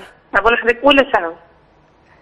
طيب يا مدام نريمان إحنا هنسجل بيانات حضرتك ونخليها معانا ونناشد وزارة التربية والتعليم آه، بمراجعة آه، مسألة حضور الطلاب في الصف الأول الثانوي الولاد مش بيروحوا. والعهده على الراوي ده مش كلامي. آه، آه، إحنا اتكلمنا بما فيه الكفاية والكلام مفتوح أمام حضراتكم. وحضراتكم عارفين إن إحنا بنترك لكل شخص إن هو يعبر عن رأيه بطريقته. بس من الواضح إنه في إجماع. إن المسألة أصبحت محتاجة حلول حلول مشتركة ما بين البيت والمدرسة والأمن كمان في الشارع. يعني هنحمله برضو إيه جزء شوية إن هو يساعد الناس وإنه يبقى عليه مسؤولية. أنا عارفة ان عليه مسؤوليات كتير بس معلش يعني المبادرة دي كويسة جدا واللي يقدر يعملها يا ريت إنها تتعمل. نرجع آه، لحضراتكم طبعا كلكم عارفين آه، موضوع آه، مهم جدا. فيما يتعلق بالخط رقم 125 لشكاوي مياه الصرف ومياه الشرب والصرف الصحي. آه، في تطوير للخدمات وفي ابلكيشن تقدروا حضراتكم تنزلوه تبلغوا آه، فيه عن انقطاع المية. آه، آه، التطبيق الجديد ده تقدروا ان أنتوا تنزلوه بياخد كل شكاوي المواطنين. في رقم طبعا 125 شغال ده مش هيتلغي. زي ما هو. لكن بنقول لحضراتكم إن الشركة القابضة لمياه الشرب والصرف الصحي نزلت تطبيق جديد أبلكيشن موبايل تقدروا انكم تستقبلوا عليه كل أو تقدروا إن إنتوا تسجلوا الشكاوي بتاعتكم اللي بتحصل. تقدروا إن إنتوا تبلغوا عن انقطاع الميه عن طريق الأبلكيشن وبتبعتوا الإحداثيات بتاعت ال- يعني بتاعت المكان. اللي مش عايز هذه الطريقة ولكن ده للتسهيل. عشان ساعات بتقول لك خط 120 آه، مشغول. ساعات ناس ما بتردش عليه. عندك كسر في ماسوره آه، مية كسر لا قدر الله في ماسوره صرف صحي وهكذا. ممكن حضراتكم ترجعوا لهذا التطبيق. الفترة الجاية إن شاء الله من التطبيق ده كمان هتقدر تسدد فاتورة المية عن طريق ال application بتاع الموبايل. يعني في حالة إن ال- ال- المحصل اللي بيجي يحصل المية ما جاش ودي أزمة الناس كتير بتعاني منها بسبب إنه آه، بيتكوم عليهم فلوس آه، كتير من الفواتير أو كده. فحضراتكم هتقدروا إن شاء الله بإذن الله مستقبلا إنكم تدفعوا ال- الفواتير في الفترة الجاية مش بعيدة يعني تدفعوا الفواتير بتاعتكم عن طريق ابلكيشن الموبايل واللي عايز يكلم 125 آه تمام. واللي عنده أي شكوى ممكن برضو تقدموها على بوابة الشكاوي التابعة لرئاسة مجلس الوزراء. الشكاوي الحكومية التابعة لرئاسة مجلس الوزراء. آه معانا لسه أخبار كتير. طيب آخد آه آه خبر كمان لطيف جدا وجميل أكيد هيبسطنا كلنا. آه، استقبل آه، الدكتور أشرف صبحي وزير الشباب والرياضة والد النجم والد نجم منتخبنا الوطني كابتن محمد صلاح لاعب نادي ليفربول الإنجليزي في مكتبه. وزير الرياضة قال إن الدولة المصرية بتقف جنب صلاح وإنه سعيد جدا بعودة صلاح لمستواه وتصدره لهدافي الدوري الإنجليزي برصيد 10 أهداف. وتم إقرار إنه آه، آه، صلاح باعتباره نموذج مشرف لمصر في الوقت آه، نفسه.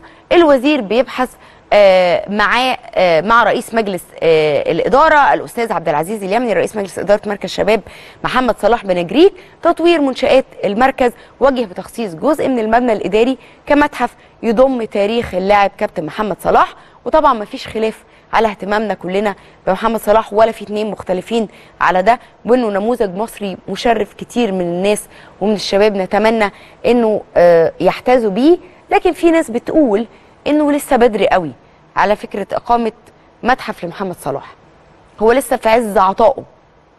هو لسه كل يوم هيحقق بطولات أكتر وكل يوم هيحقق آه لقب آه جديد. ودي وجهة نظر برضو تحترم. بس المطلوب إنه لو اتعمل ال- المتحف يبقى بمستوى مشرف وتكون زيارته متاحة للطلبة. طلبة المدارس مش بس في القرية أو في المركز أو في المحافظة لكن من مختلف المحافظات آه، المجاورة عشان تكون الزيارة دي حافز ليهم. خصوصا إن هو هيضم حاجات كتيرة جدا. ممكن كابتن محمد صلاح يساهم ببعض المعروضات ويحطها فيه آه، وهيبقى أول متحف لنجم آه، ربنا يديله الصحة والعمر في عز شبابه وعطائه مستمر ومتجدد بإذن الله. آه، نروح جميعا مع بعض كلنا آه، ننعي واحد من الشخصيات الفنية المؤثرة في حياتنا. آه، إنسان وفنان من صناع البهجة في السينما والدراما المصرية غير كمان إن هو ليه حضور طاغي على المسرح إحنا بننعي جميعا الفنان الكبير القدير الأستاذ محمود القلعاوي اللي توفى امبارح عن عمر يناهز 79 سنة أغلبهم قضاه ما بين البلاتوهات التصوير وعلى خشبة المسرح عشان يرسم البسمة على وشوش كل الناس وتمتد ال- البهجة اللي بيصنعها في كل إطلالة يقوم بيها أمام الجمهور في العالم العربي كله. وده لأن رسالة القلعاوي كانت إسعاد الناس. ومن أول ظهور ليه في فيلم لعنة امرأة مع بداية السبعينات ولحد آخر أدواره في مسرحية كناس وناس وفي 2013 ودي كانت في 2013 رحلة طويلة من العطاء. اللي أكيد كلنا بنقدر كل محطه فيها وقالوا عنه هو جوكر الكوميديا المصرية. ربنا يرحمه يا رب آه ويسكنه فسيح جناته إلى مكان آه أفضل بإذن الله زي ما أسعدنا طول السنين اللي فاتت وخالص تعزينا لأسرته وذويه ومحبيه.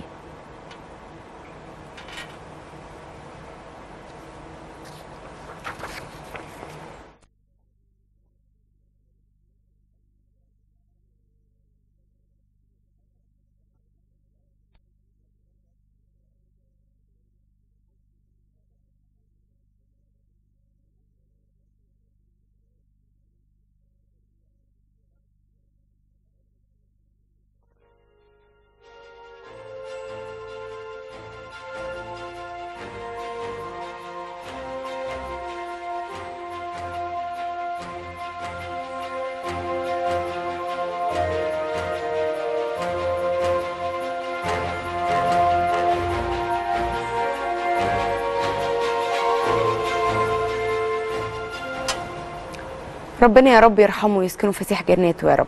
هرجع مع حضراتكم لمجلة حريتي المجلة الأسبوعية اللي بتصدر عن مؤسسة دار التحرير للطبع والنشر والحقيقة انه العدد الأخير لمجلة حريتي أثار آه، آه، آه، الغلاف جدل كبير جدا جدا جدا ما بين الناس بسبب اختيار صورة الغلاف. زي ما حضراتكم هتشوفوا معانا هو عبارة عن صورة لفتاة بتقبل أبو الهول.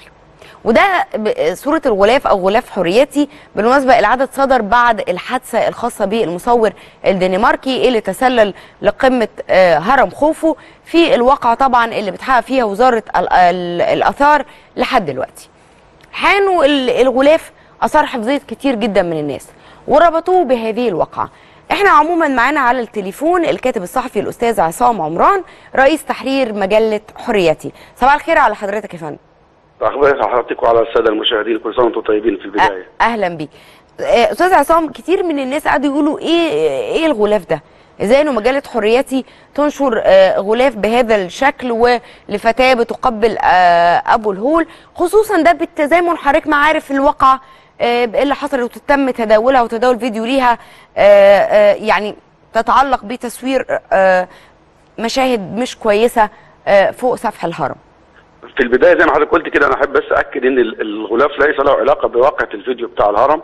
والحقيقة إن الغلاف ده يعني أنا أجلته مرتين كان موجود هي فكرة كان جت إحدى آه، ملكات جمال العالم كانت موجودة في زيارة للهرم وأبو الهول وقامت عملت صورة مماثلة للصورة حضرتك موجودة على الغلاف. فالفكرة جت من هنا. أنا عملت الغلاف وتاجل مرتين قبل كده إلى أن يوم الخميس الماضي إحنا وقاعدين يعني الغلاف ملوش دعوة بالواقعه خالص وليس له علاقة وكان قبل مختارينه أو الموضوع معمول قبل الواقعة بحوالي أسبوعين. يوم الخميس الماضي إحنا بنختار في مجلس التحرير بنختار موضوع الغلاف أو هناخد إيه فوجئنا بتقرير من مجلة فوربس الأمريكية بتقول إن مصر في 2019 هتبقى قبلة السياحة العالمية ومقصد لكل السياحه العالميه دي حقيقة. آه وهيتهافتوا على مصر. فطبعا إحنا في اطار دعم السياحة المصرية وإعادتها لمكانتها والترويج للسياحة المصرية. فقلنا نيجي نحيي الموضوع تاني واخترنا الصورة. وحضرتك لو فتحت الم... الم... الموضوعات في المجلة جوه الموضوعين الموجودين فتحتها؟ هت... هتلاقي صور كتير قوي لنجوم ونجمات بيقبلوا ابو الهول منهم النجم العالمي ويل سميث بيقبل أبو الهول ومنهم رؤساء وزعماء موجودين في الأهرامات. فالهدف من الموضوع أصلا كان دعم السياحة والترويج للسياحة. ليس له علاقة بالفيديو. طب أنت حضرتك إيه رأي حضرتك في الناس اللي معترضه على إنكم ما تخرجوش غلاف بهذا الشكل؟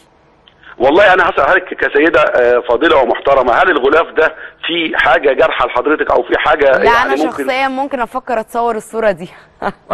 حضرتك لو لو سافرت أنا رحت بمنتهى الصراحة. أنا عملت حضرتك- آه، رحت الأقصر وح- بيعلمونا إزاي تاخد صور ب- آه، معين كأنك ماسك مسلة كأنك آه، آه، هم هم قريب هم من الزملاء المصورين الزملاء المصورين هم اللي بيعملوا بيختاروا ال- ال- اللي هي اللقطات دي أو الزوايا دي.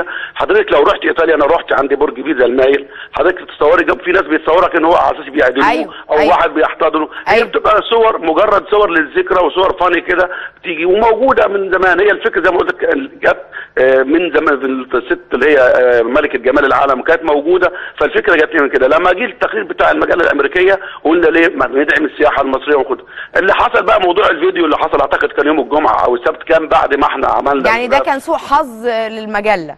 والله أنا مش شايفه كده. أنا شايف إن إحنا إحنا بن بن بن, بن يعني بنضخم الأمور ونعملها. إحنا أنا على فكرة أنا بقالي أربع سنين ونص أو خمس سنين ماسك المجلة وكنت واخد عهد وما زلت على على نفسي. إن مش هينزل أي صور خليعة في المجلة طالما أنا رئيس تحريرها. أعتقد إن الصور دي موجودة في الفيس وموجودة في كل حتة. ودي صور عادية. ما فيش فيها أي جرح لأي فتاة ولا أي سيده ولا أي حاجة. آه كل واحد بقى ليه هدف مختلف سواء عموما من كان كان لحضرتك يا أستاذ عصام حق الرد وحق التوضيح. أنا أنا أنا أقول لحضرتك ما فيش المشكلة كل واحد بيقول رأيه. وإحنا المفروض إحنا صحفيين وإعلاميين بنطالب بحرية الراي وحرية الفكر وحرية الإبداع. بس الحرية مسؤولة مش حرية. أنا لو أنا شايف إن ده مخل أو فيها حاجة مهينة سواء لاي حد هيقرأ المجلة أو أي حد هيشوفها ما كنتش هعملها أصلا. لكن هي الهدف كله كان دعم وترويج للسياحة المصرية. وزي ما قلت لك الصور دي موجودة. حضرتك لو دخلت على جوجل ولا أي حاجة هتلاقي صور كتير قوي أنا لنجوم عارفة، أنا عارفة. وملوك موجودين. وزي ما أنت قلت كده بتروح في الأقصر بتتصوري مع المسألة الفلانية أيوة. أو المعبد في زاوية كذا. فدي كلها طقوس وحاجات للذكرى للذكرى موجودة في كل دول العالم بالمناسبة. تمام. أنا بشكر حضرتك جدا جدا الاستاذ الكاتب الصحفي عصام عمران رئيس تحرير مجلة حريتي وكان له حق الرد وأوضح وجهة نظر. وإحنا شفنا فعلا على فكرة صور كتير ملكات جمال آه، ميلانيا ترامب في الهرم ل... ل... يعني ناس كتير. ناس كتير على فكرة بتاخد وضع الصورة ده وتتصور كده ب... بطريقة لطيفة. يعني قدرت قدرت توصل لأبو الهول و آه وتبوسه كده وده طبعا ما بيبقاش حقيقي. هي ما بتكونش وصلت أصلا يعني بس هم بيعرفوا ياخدوا الكادر بصراحة. بيعرفوا يظبطوه. عموما بعد الفاصل هنستقبل أسئلة واستفسارات حضراتكم. زي ما قلنا مع ضيفنا اللي هينورنا في الاستوديو الأستاذ دكتور هاني الناظر استشاري الامراض الجلدية ورئيس المركز القومي للبحوث الأسبق. ويعني إن شاء الله يرد على أسئلة حضراتكم فيما يتعلق بكتير جدا من ال- ال- الصور اللي وصلت لنا بخصوص أمراض آه، منتشرة في هذه ال- الفترة. وأسيب حضراتكم مع درجات الحرارة. وفاصل صغير جدا ونرجع بعدها على طول. Lord.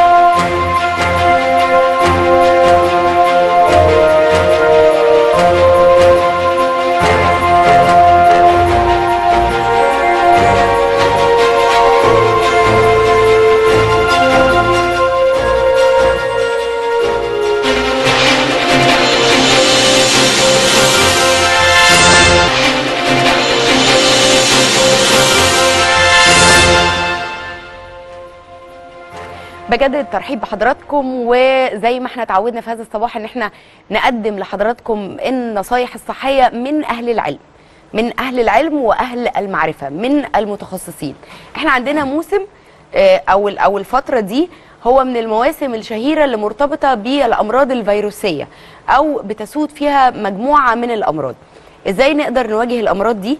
إزاي نقدر نحدد هم أولادنا مصابين بإيه بالظبط؟ آه، إيه الإرشادات اللي إحنا محتاجينها في هذه الفترة أو يعني الفترة اللي فيها حضانة بقى للأمراض كتير مع انتشار بعض الأمراض الجلدية المعدية؟ وطبعا أي حد من حضراتكم ليه استفسار بنرحب بيه.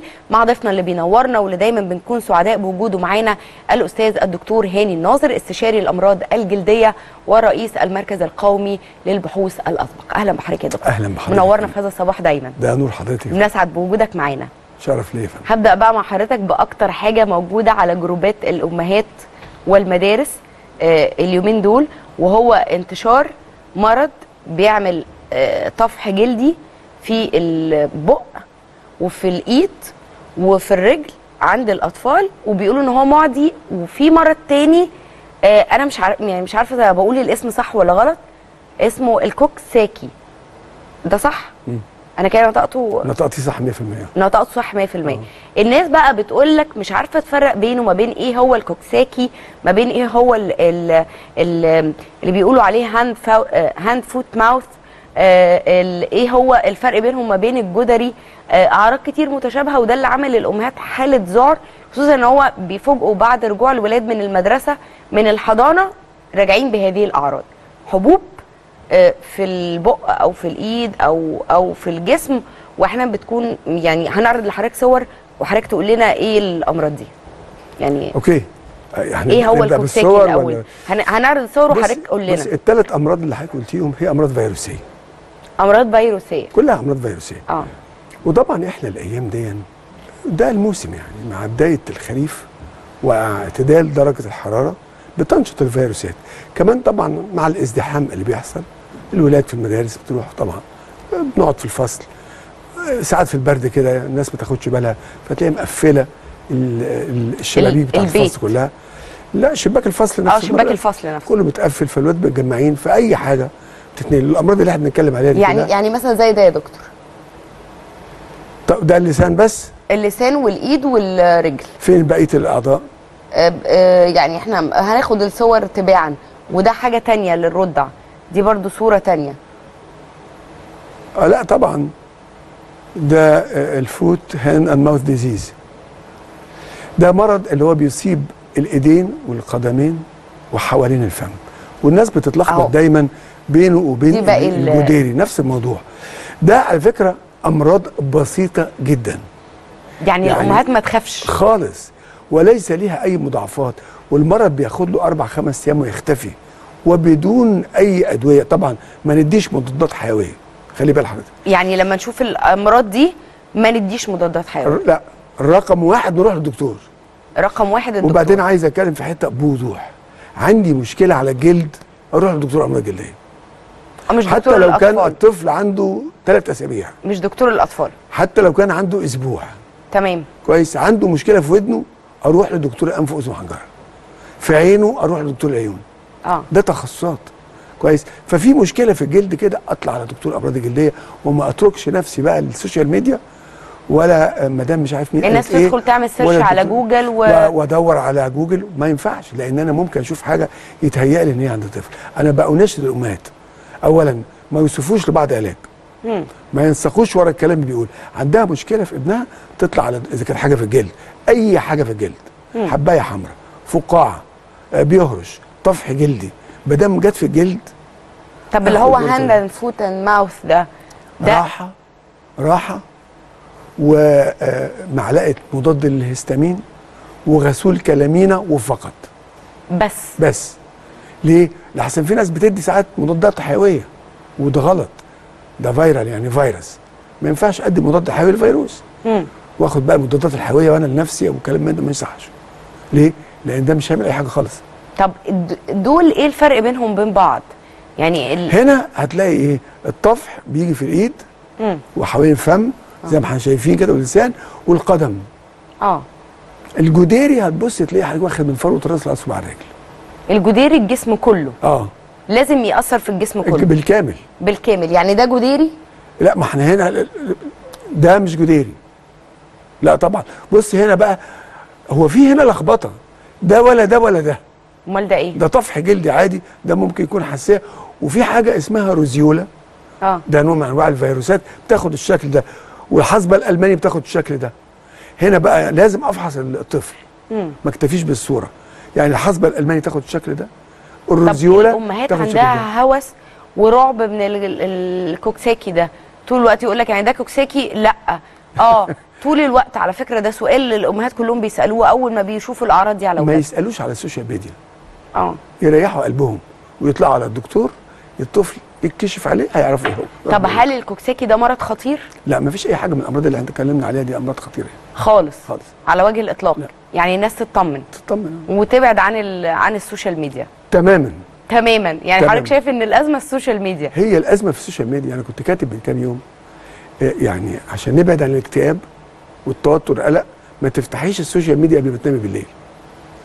وما دورش على مرض على السوشيال ميديا. نه- نهائي. اطلاقا. عايز أعرف معلومات عامة كده أخش على جوجل على الحاجات الويكيبيديا أعرف. أو طبعا ده المعلومات. إنما أمشي ورا كلام الدكتور. أروح عند الدكتور أكشف وأطمن لأن الدكتور المتخصص. طب إحنا في الوقت ده من السنة الفيروسات أو النوع اللي حضرتك بتقول عليها دي فيروسات بسيطة أو ضعيفة. آه طبعا. جدا. آه. كلها راحة قلت- راحة في البيت وإذا كان في هرش أي مضاد هيستامين وغسول كلامينا فقط ما احطش اي ادويه ولا كلمات مضادات حيوية ولا الكلام ده خالص. طب هل في أي يا دكتور أي حاجات وقاية من الأمراض دي أو من العدوى من الأمراض دي؟ لا طبعا طالما الطفل بيخرج وبيتعرض للإصابة الحاجات دي كلها بتيجي عن طريق الجهاز التنفسي. آه. هيتعدي. يعني طب أنا هعمل يعني طب ال ال الأم اللي ممكن تكون حامل وعندها طفل في البيت أصيب بأي من الفيروسات لا؟ مفيش مشكلة.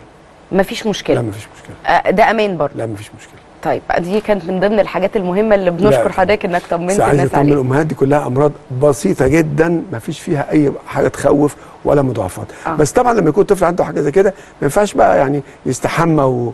وعرضه للهواء وكلام من ده. مش عشان المرض نفسه إنما عشان ممكن نتيجة إن مقاومة الجسم بتبقى يعني يعني الطفل لو. أصيب بالنوع ده من الفيروسات يعني يومين نقلل ثلاثة نريح. نقلل موضوع ال- ال- الحمى. يعني, يومين ثلاثة كده. يعني يغيروا الهدوم بس يعني ما هيبقى هدوم. نظيفة بس بس وتدفئة إن- كويسة و... والحاجات بقى يعني إذا كان طفل كبير شوية العسل والليمون الحاجات الطبيعية دي. دي دي أهم حاجة. آه. طيب دكتور إيه تاني الناس تعمله في الفترة دي؟ ما الناس بتقول لك أنا أنا عمال كل شوية بسمع عن أمراض غريبة. يعني أو يمكن آه، أمراض اسمها يعني ال hand and foot ده. إحنا من الفيروسات اللي ما اعتقدش ان إحنا كنا سمعنا عنها قبل كده ولا كانت موجودة؟ لا موجود وإحنا ما نعرفهاش. بالظبط موجود طول عمره يعني زي الجديري يعني دي من الأمراض اللي منتشرة من زمان. آه وصح عشان انت في حضرتك برضه في أول الكلام قلت الجدري. هو جديري مش. الجديري آه، خلي بالك. الجديري وقته دلوقتي. لا مفيش جدري على الكرة الأرضية. الجديري وقته دلوقتي؟ آه ده الموسم بتاعه. ده الموسم بتاعه. يعني بدأ من شهرين. طيب ال- التطعيمات بقى يا دكتور هل في تطعيمات ممكن؟ في تطعيمات آه بس الناس بتكسل. يعني في تطعيمات ممكن آه، تخلي. الأطفال ما يصابوش آه، بهذه موجودة الفيروسات. في هيئة المصل واللقاح حتى ضد الفيروسات دي آه. اللي هي foot and mouth وليها ليها تطعيمات. تطعيمات. ليها تطعيمات. ممكن ياخدوها دلوقتي. بالظبط. وبت حضرتك بت يعني بتؤكد إنها ممكن تكون ليها فعاليه ده أكيد. أكيد. أكيد آه. طب يا جماعة يبقى خلاص الم... المسألة سهلة جدا مفيش داعي إن الناس تكون.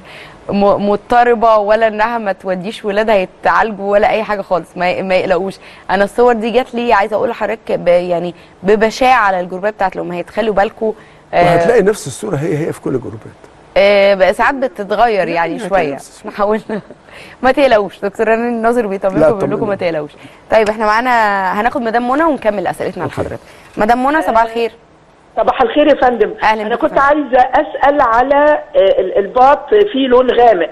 يا ريت يكون اسم كريم أو حاجة. وفي سؤال تاني القشرة بتاعت الشعر هل ينفع معاها بينتوفيت ولا ما ينفعش؟ شكرا. شكرا يا فندم. أوكي. مش عارفة آه آه، بتقول إن تحت ابط اللون داكن. آه. طبعا آه، يعني كتير على فكرة الناس بتشتكي من الظاهرة دي ليها سببين. لو الوزن زايد شوية السبب الثاني يعني حاجات طبعا مزيلات العرق آه، بتعمل ساعات كده. بت بت بتحول المنطقة. تحت للغمقان. آه. طبعا هي لو دخلت على صفحتي أنا كاتب من 48 ساعة بالظبط البوست المجمع فيه كريمات تفتيح. الكريم اللي أنا كاتبه تاخده وتدهن بيه الصبح وبالليل شهرين هيروح اللون طب في ناس ساعات يا دكتور بتخاف من كريمات التفتيح. أو كنا نسمع إن كريمات التفتيح بتسبب الإصابة بمرض الجلد آه سرطان الجلد. لا ده تخريف طبعا الكلام ده مش كلام مش علمي خالص يعني. يعني كانوا بيقولوا إن بعض الكريمات بقى أسامي شهيرة كنا بنسمع عنها وكده كان يقول لك إنه بلاش تستعملوا الكريمات دي لأنها بتؤدي للإصابة بسرطان الجلد. مين بقى اللي يقول الكلام ده؟ آه أنا ما أعرفش. ال social media. آه ال social media. لا،. أو معلومات دارجة ما بين زي ما بيتق... بيتقال إن مزيلات العرق بتعمل سرطان ثدي عند السيدات. آه يقال. تهريج. أو بتعمل التهابات في الغدد اللبنية أعتقد. ده ده كلام فاضي يعني. ده تهريج. آه كلام تهريج يعني. كلام ليس له أي أساس ال... هي سألت حضرتك سؤال تاني. آه آه قالت إن هي عندها قشر في الشعر ده الموسم بقى اليومين دول. ده يعني موسم ده قش موسم الشعر قش الشعر ولسه أنا كنت بجهز دلوقتي يعني روجيتا بتركيبة كده. هنشرها على صفحتي. تركيبة الناس تعملها في الصيدلية. إن شاء الله هنزلها النهارده بعد الظهر. آه لعلاج القشر طيب أنا لو معيش فلوس أجيب تركيبة؟ مم. أو معيش فلوس أجيب أي دواء خالص. أعمل إيه في البيت عشان أعالج القشرة؟ بالظبط. آه، كويس. س- سهلة جدا. آه. بنجيب مية دافية معلقة خل كبيرة مم. نقلب كويس قوي ناخد السائل ده نعمل تدليك لفروة الرأس نسيبه 10 دقائق أو ربع ساعة ونشطفه مرتين في الأسبوع. نشطفه كويس ما يبقاش فيه ريحة عرق طبعا ريحة خل قصدي. مش هيبقى فيه قشرة. وخلاص. وخلاص. أو مش عايز أستخدم الخل. أي شامبو قشرة. بس بستعمله إزاي؟ باخد الشامبو وأعمل بيه تدليك لفروه الراس. وأسيبه على فروه راسي 10 دقائق كده اشطفه. تمام. كل مرة أغسل بيها شعري مش هيبقى فيه قشرة. عموما دي نصيحة يعني من حضرتك إن شاء الله نستعمل تكلفش. بيها. آه أنا معايا بس كمان حد بعت لحضرتك صور هل ممكن نعرضها؟ آه اتفضل. معانا الصور يا جماعة؟ طب ممكن نحطها. مدام آية آه، عبده مصطفى بتقول لحضرتك الصورة الأولى عملنا آه، جلسات في مستشفى الجلدية. آه، آه، آه، رش أنا مش فاهمة يعني إيه بس زي ما أنتم شايفين نتيجة الصورة الثانية في بقعة بيضاء ظهرت في ال- الرقبة ولما كنا بنكشف قالوا إن ده حزاز لا دي. الإيد. ال- آه وفي الإيد بس ما فيش تحسن والبقعة بتزيد. لو سمحتوا تردوا على الأسئلة هنا. البقعة البيضاء اللي تحت دي. آه قالوا لها ده حاجة اسمها حزاز طولي. طيب البقعة البيضاء دي هتروح الصيدلية وهتقول له أنا عايز المرهم اللي فيه مادة التكروليماس المرهم اللي فيه مادة التكروليمس التكروليماس آه تمام. ندهن الصبح وبالليل إن شاء الله قبل شهرين هيكون راحت بإذن الله. طيب. آه مية بتقول لحضرتك يا دكتور بنتي عندها سنة ونص بس وشعرها بيقع جدا وبقى خفيف قوي وناشف قوي ومظهره مش حلو خالص أعمل إيه؟ مع العلم إنها تغذيتها كويسة قوي وممكن ده يكون آه، آه، إيه السبب؟ آه، أنا نفسي شعرها يتحسن يبقى مظهره حتى حلو curly مش مشكلة يعني مش بت يعني مش فارق معاها الشكل بس يبقى صحي مش يقع. يعني ده الطفل عندها سنة ونص بس. لا هل هو شعرها خفيف من الأول ولا بدأ يقع؟ بتفرق. الشعر خفيف من الأول معظم الأطفال في أول 3 4 سنين بيبقى سنهم شعرهم عادي كده بيقولوا لهم. ساعات بيقولوا يا دكتور احلق احلقوا الشعر zero عشان الشعر يطلع كويس. بتخريف طبعا. دي طالما حضرتك ضحكت يبقى خرافة. آه كان يقول لك احلقوا الشعر zero وحطوا حنة على فروة الراس للأطفال فشعرهم هيطلع كويس وتقيل بعد كده. سحلية مغلي لا من غير الديل ودم السحليه. لا. ده آه دم. غراب آه. ده كلام فاضي يعني. مفيش حاجة اسمها كده. المقولة الشهيرة عند المصريين بتاع احلق الشعر على ال zero عشان يتقل ده حاجة تضحك. آه. ومش هيتقل وممكن تبقى مشكلة وما يطلعش تاني بسهولة. فأنا بنصح الأمهات بلاش حكاية حلقة الشعر على ال zero دي خالص. خالص. خالص يعني. وما تحاولش الأمهات في سن سنة أو سنتين تجري على أدوية أو تركيبات عشان تقل الشعر مم. ده شيء طبيعي في مرحلة نمو. الطفل بيبقى في مرحلة نمو جسمه بيكبر اعضائه بتكبر فالتغذية كلها بتروح الحاجات دي. فممكن تبقى قليلة في الفروة شوية. ما نديش أي حاجة خالص. خالص. خالص. وأول ما يبقى 3 4 سنين يبقى كويس. فلا أنصح بأي أدوية في السن ده خالص. نهائي. طيب إحنا معانا مدام حنان على التليفون. ألو؟ أي فندم صباح الخير. صباح الفل يا أسماء. أهلا بحضرتك يا فندم أهلا عاملة. إيه يا حبيبتي؟ أنا الحمد إيه؟ لله تمام كويسة زي بخير. القمر يا أسماء. ربنا يخلي حضرتك بشكرك جدا يا صباح فندم. الخير يا دكتور. ممكن أكلم الدكتور؟ آه الدكتور مع حضرتك طبعا. صباح الخير يا دكتور. صباح النور يا هانم. أهلا بحضرتك. بص هقول لحضرتك أنا حفيدتي من يومين آه، من أسبوع جالها سخونية وديناها الحميات فضلوا إدوها مضاد حيوي ابر وبعد كده ابتدت السخونية تروح وتيجي وفجأة لقينا بقها من جوه ومن بره زي ما حضرتك كده بتقول وديناها للدكتور حجزها بقاله يومين دلوقتي في المستشفى وقال إن هي عندها فيروس اسمه هيربت مش عارفة ولا اسمه إيه كده.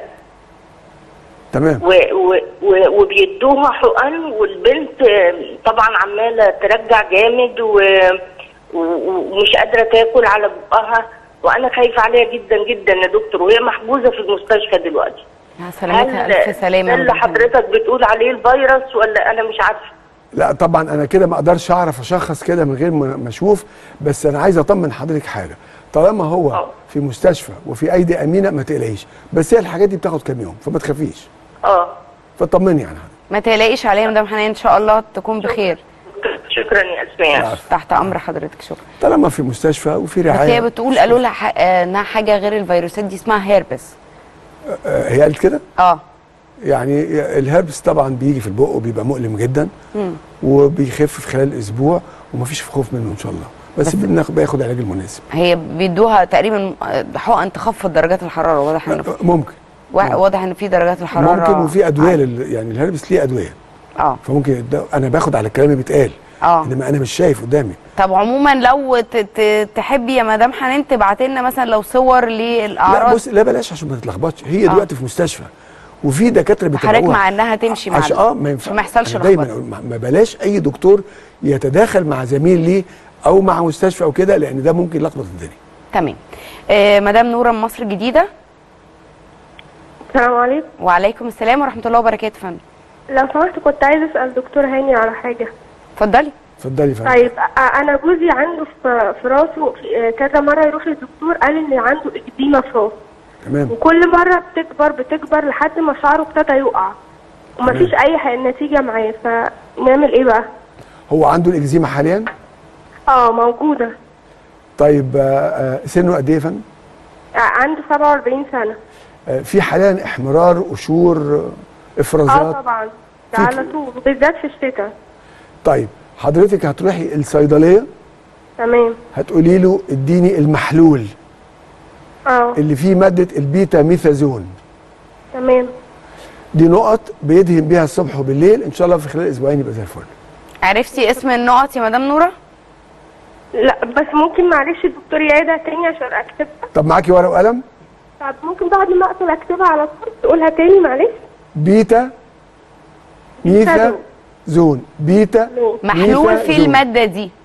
تمام. ماشي يا دكتور. كتر خير. العافية يا فندم. شكرا يا مدام نور. أستاذ عزت من من هنا صباح الخير يا فندم. صباح النور يا أستاذ عزت. حضرتك في بقع سودة في الراس كده بس بتطلع بقشر. بقع سودة بتطلع بقشرة؟ آه بقشر آه بس بقشر. يعني دايما موجودة في الرأس حضرتك. في أي حتة في الجسم؟ في الرأس في الرأس حضرتك في الرأس. طب آه، معلش هسأل حاجة سؤال سخيف. تحت أمر حضرتك. حضرتك فوق سن ال 60 لا يعني بداية الخمسين سيادتك في أول الخمسينات. البقعه دي بدأت تظهر جديد ولا من زمان؟ لا ده ليها فترة أكثر من عشر سنين كده. لقيت معظم دكاترة القاهرة كلها عليها. طيب في منطقة الجبهة ولا في فروة الرأس؟ لا في ال- في الجنب اليمين من بقعة وفي أول الجبهة في بقعة كده. في أول فين؟ في الجنب اليمين في بقعة وفي أول الجبهة في طيب بقعة. طيب حضرتك بتهرش فيها ولا ما فيهاش هرش آه بالظبط. طيب خدت لي علاج قبل كده سيادتك كتبوا لي علاج حضرتك بعض الدكاترة دي. آه لما خدت العلاج ما راحتش. لا لا ما راحتش خالص. موجودة البقعة السوداء زي ما هي. بص حضرتك دي أحسن حاجة إن هي تتشال بالليزر. برافو على سيادتك ميرسي خالص. و- وبلاش نتعرض للشمس كتير. شكرا متشكر خالص. العافية. العفو يا أستاذ عز شروق من بنها؟ أيوه. أي يا فندم أيوه يا دكتور. اتفضلي يا فندم. اتفضلي. آه لو سمحت يا دكتور أنا حوالي 20 سنة. أيوه. فالمفروض أنا مثلا من ثلاث سنين من أيام ما كنت في ثانوية عامة كان المفروض عندي حساسية من نفسيه تمام. فالمهم يعني أنا كشفت وكده فهو قال لي اللي هي ارتكاريا مش مزمنة وهنمشي على دواء اسمه الجيوبير أيوه. لمدة ثلاث شهور. تمام. فالمهم اللي هو ما عملش حاجة يعني أنا أصلا عايشة على ديكسافين اللي هو السيرب ده. هو تمام. طبعا ده كورتيزون. تمام. فزود ع... زود عليه كمان Telfast معايا برضو مفيش نتيجة. طيب آه هراجع معاكي كده شوية حاجات. هل الارتكاريه دي بتلاحظي إن هي بتظهر على هيئة بقع حمراء تورم تختفي من حتة عندي هو نفسه الدكتور قال لي أنا مفيش أي حاجة في جسمي. أنت ما عندكيش حاجة في جسمك؟ خالص. أمال بتشتكي من إيه؟ يعني أنا بحس من جوايا إن أنا في حكة جوايا. أما من جسمي من بره مفيش ولا حتى بقع ولا أي حاجة. ولا عايزة تهرشي؟ لا بكون عايزة. وفي أصلا عندي آثار يعني في عندي آثار في رجلي اللي هو اثار لا الآثار دي مطرح ما هرشتي عورتي نفسك أيوه ده بالظبط. لا، أما احمرار أو كده لا مفيش لا ما فيش أي احمرار ولا التهاب ولا بيطلع حاجة في الجلد خالص. لا لا ممكن بقى لو الجو حر شوية وأنا راجعة من بره ألاقي جسمي محمر بس بيروح على طول. حضرتك عندك كام سنة؟ 20 عندي 20 حضرتك أنسة؟ آه. قاعدة في البيت مع بابا وماما؟ أيوه. هل انت معلش في السؤال يعني بتتعرضي باستمرار لشد عصبي أو توتر كتير حد بيضايقك؟ لا أنا المفروض في صيدلة يعني بس الضغط النفسي بالنسبة للمذاكرة. أنا عصبية جدا أنا عندي قولون أصلا. آه أنت عصبية؟ آه. ما هو ده اللي عامل لك كده. بصي ده يعني من العصبية والشد على طول. طالما الحمد لله ما فيش طفح جلدي فأنا كده مش خايف دي مش ارتكاريا. فين ارتكاريا يعني بقع حمراء تضرم في الجلد تورم في الشفة ده اسمه ارتكاريا. انما لو ما فيش التهابات وبحس اللي أنت بتقولي عليه اللي بيسموه فوران يعني. آه. حرقان ده طبعا stress وشد عصبي. وطبعا أنت في كلية صعبة مش سهلة. هتلاقي نفسك دي بتزيد أيام الامتحانات 100% صح؟ أيوه. فطبعا دي مرتبطة بالحالة النفسية. هو طبعا أفضل حاجة إنك تاخدي بعد العشاء كل يوم قرص مضاد للهستامين طويل المفعول وعشان خاطر حاولي تخفي شوية وتبعد عن من التوتر. يعني أخد إيه طيب بعد ال يعني أحسن الدكتور قال لي خدي حقن اسمها زورير تقريبا تحت الجلد. لا لا لا. بصي أنا مش عارف أقول اسم الدواء. عشان آه، قول.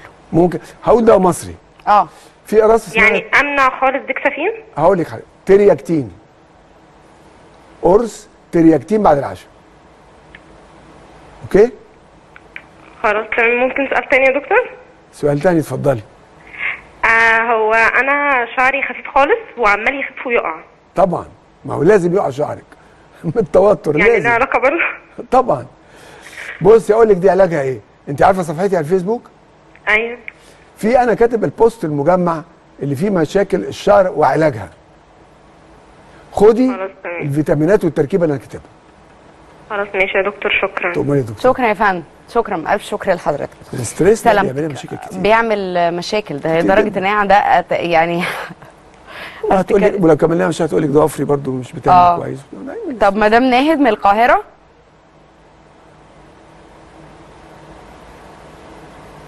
مدام ناهد؟ طب أستاذ فادي؟ ألو؟ أيوه. صباح الخير يا فندم. صباح النور يا فندم. لو عندك لو سمحت أنا عندي مشكلة بقى لها 10 12 سنة. في راسي من فوق ظهرت بقعه بيضاء آه. وبعدين ابتدت تكتر البقعه دي. ابتديت أخد لها مراهم وبتاع ومسات وآخر ما تم رحت من خمس سنين رحت مستشفى دمرداش عملوا لي أشعة بالليزر انتشرت دلوقتي البقعه البيضاء كبيرة في دماغي وبقى منظرها وحش. اللي هي بيقولوا عليها بهاء. آه. بهاء. السكة بقعه اتقطعت. بيضاء لا. أيوه أيوه بهاء بهاء بهاء قالوا له قالوا له أنت عندك بهاء آه، حضرتك معايا لسه على الهوا؟ أيوه يا فندم. آه، البهاء دلوقتي أنا الحقيقة حاولت أروح لسعادتك المستشفى اللي هي بتاعت البحوث ما ما رضوش يدخلوني. آه طيب. لا، الأبحاث دي اللي هي في- اللي هي في الدقي. آه أنا في لا يعني أنا ببقى موجود دايما الحد واثنين وثلاث حضرتك لو جيت عن طريق الباب وقلت أنا عايز أقابل دكتور هاني النظر هتخش إن شاء الله. طيب حاضر. شكرا. إيه طيب إحنا معانا يا دكتور إحنا لايف بالمناسبة يا جماعة على صفحتنا على الفيسبوك وهقول لحضرتك أسئلة سريعة. إيه، أستاذة عبير العزاز بتقول لحضرتك حب الشباب المزمن.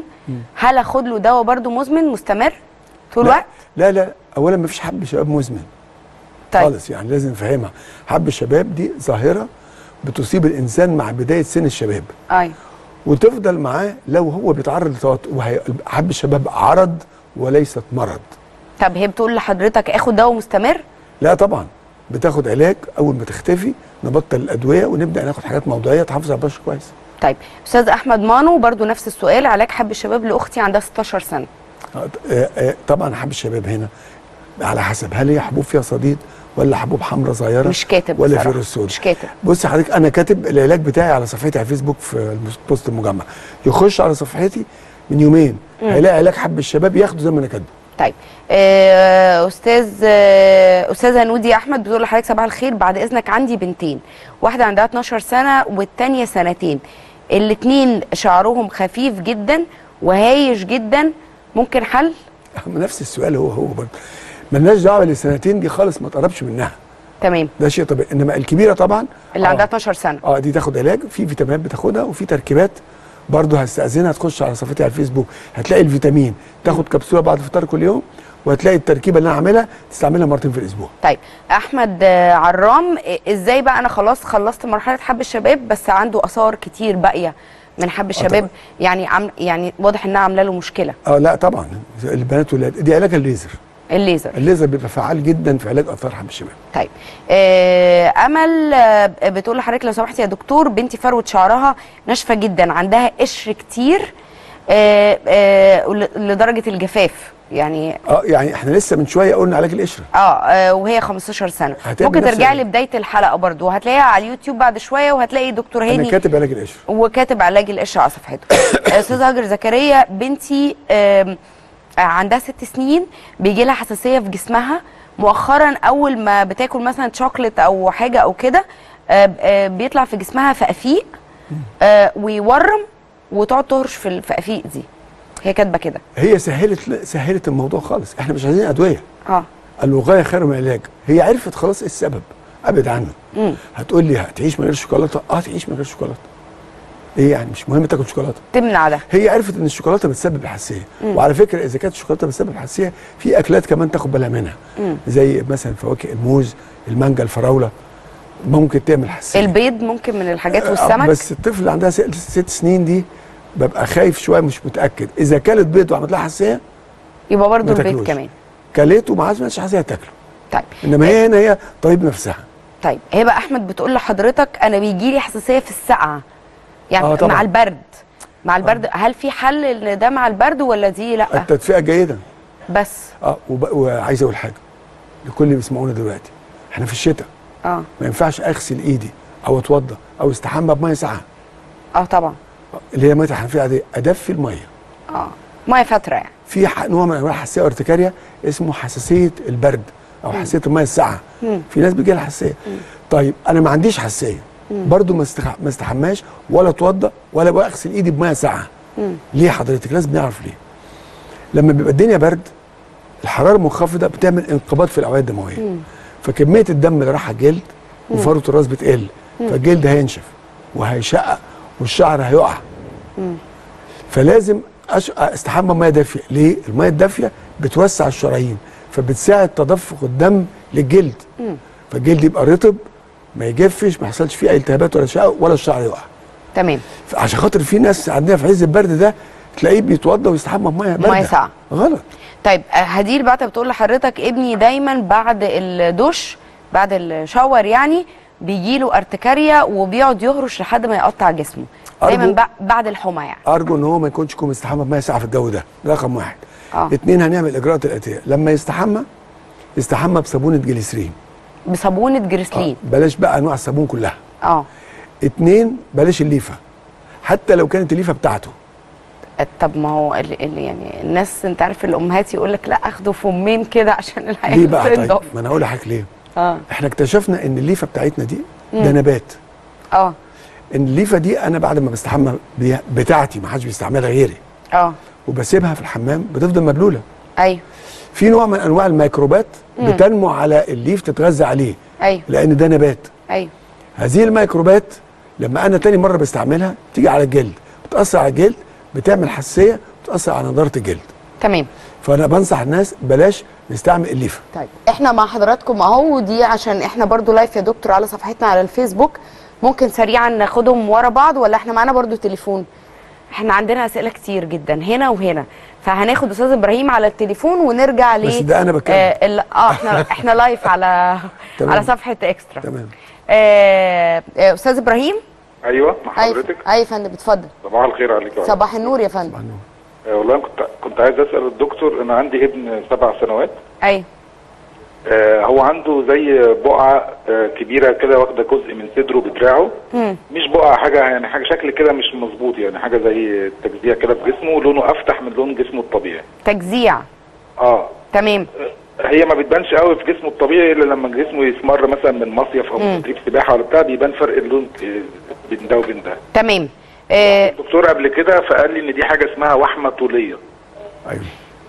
تمام. ساعه البيه هو اتولد بيها ولا جات له بعد الولادة بشوية؟ إحنا شفناها أو اكتشفناها بعد الولادة بشوية. يا بص أنا عايز أطمن سيادتك خالص ده مش مرض. دي اسمع فعلاً- رد الدكتور أستاذ إبراهيم. دي شكرا. فعلا نوع من أنواع الوحمات. مفيش منها أي خطورة اطلاقا.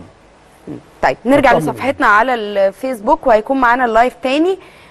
في آه، حد بعت بيقول لحضرتك هاخدكم كده أستاذة ميرفت أمين. صباح الخير أنا أخويا عنده ثعلبه في راسه بياخد أدوية كتير مش نافعة وبتكتر قوي. يعمل إيه؟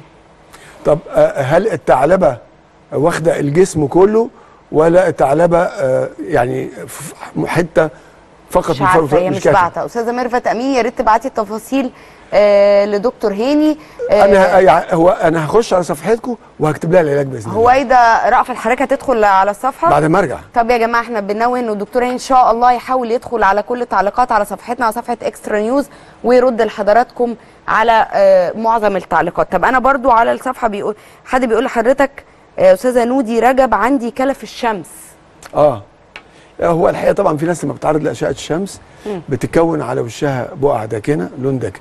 دي بنستخدم لها كريمات التفتيح وبرده دي موجودة على ال post المجمع على صفحتي من يومين تمام. فلو دخلت هتلاقي كريم تستعمله مرة الصبح ومرة بالليل تبقى كويس إن شاء الله. طيب آه، رضا مؤمن صباح الخير يا دكتور ممكن اعالج لي الصدفيه آه طيب هنست... هنروح الصيدلية؟ آه. هنقول له عايزين المرهم اللي فيه فيتامين د مع البيتاميثازون. الدهان ده بندهن بيه الصبح وبالليل إلى أن تروح الاعراض بتاعت المرض شهر أو شهر ونص. إحنا معانا مين على التليفون؟ طيب. آه، أستاذة سايم آه، سامية. أستاذة سامية صباح الخير.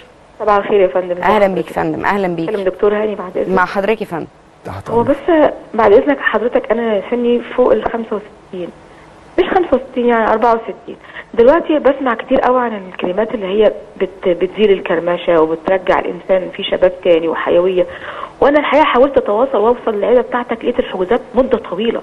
يعني والله يعني نفسي أتكلم مع حضرتك. هنتوسط لك إحنا. أنا حاضر. ربنا يخليك يا رب. روحي قولي له قريبة جاية من جاية من طرفي آه، طرف أسماء مصطفى إكسترا نيوز. هيدخلك على طول. ربنا يكرمك. بس عايز أقول لك هو معلومة. الحاجات دي بس ممكن عايز عايز أقول لك معلومة.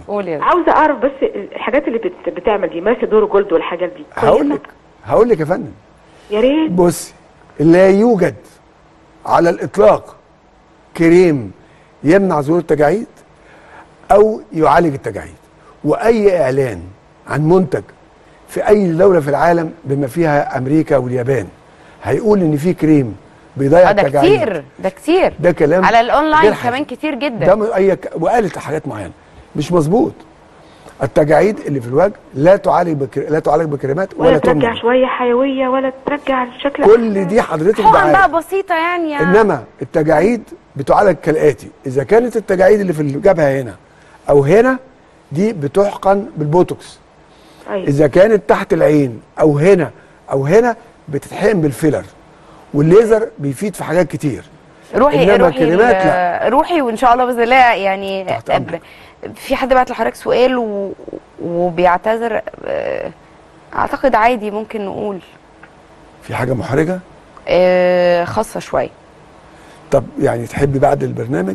هي ب... ب... آه، عندها فيروس قالوا لها إن انت عندك فيروس آه، هيربس حساسة؟ أيوه بالظبط كده. آه، آه، خارجي. آه. تمام؟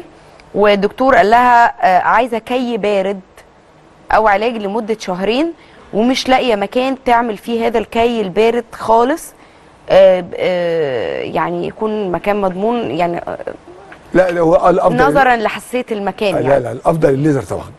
الليزر. 100% أفضل. طب مدام سارة أي مدام سارة أيوه فندم. آه سو عوادي. اسمعي رد الدكتور. آه آه، ما تقلقيش بس طالما موجود يعني برضو نتأكد إن زوج حضرتك ما عندوش عشان ده هل هو معدي بين الزوجين؟ جدا. آه.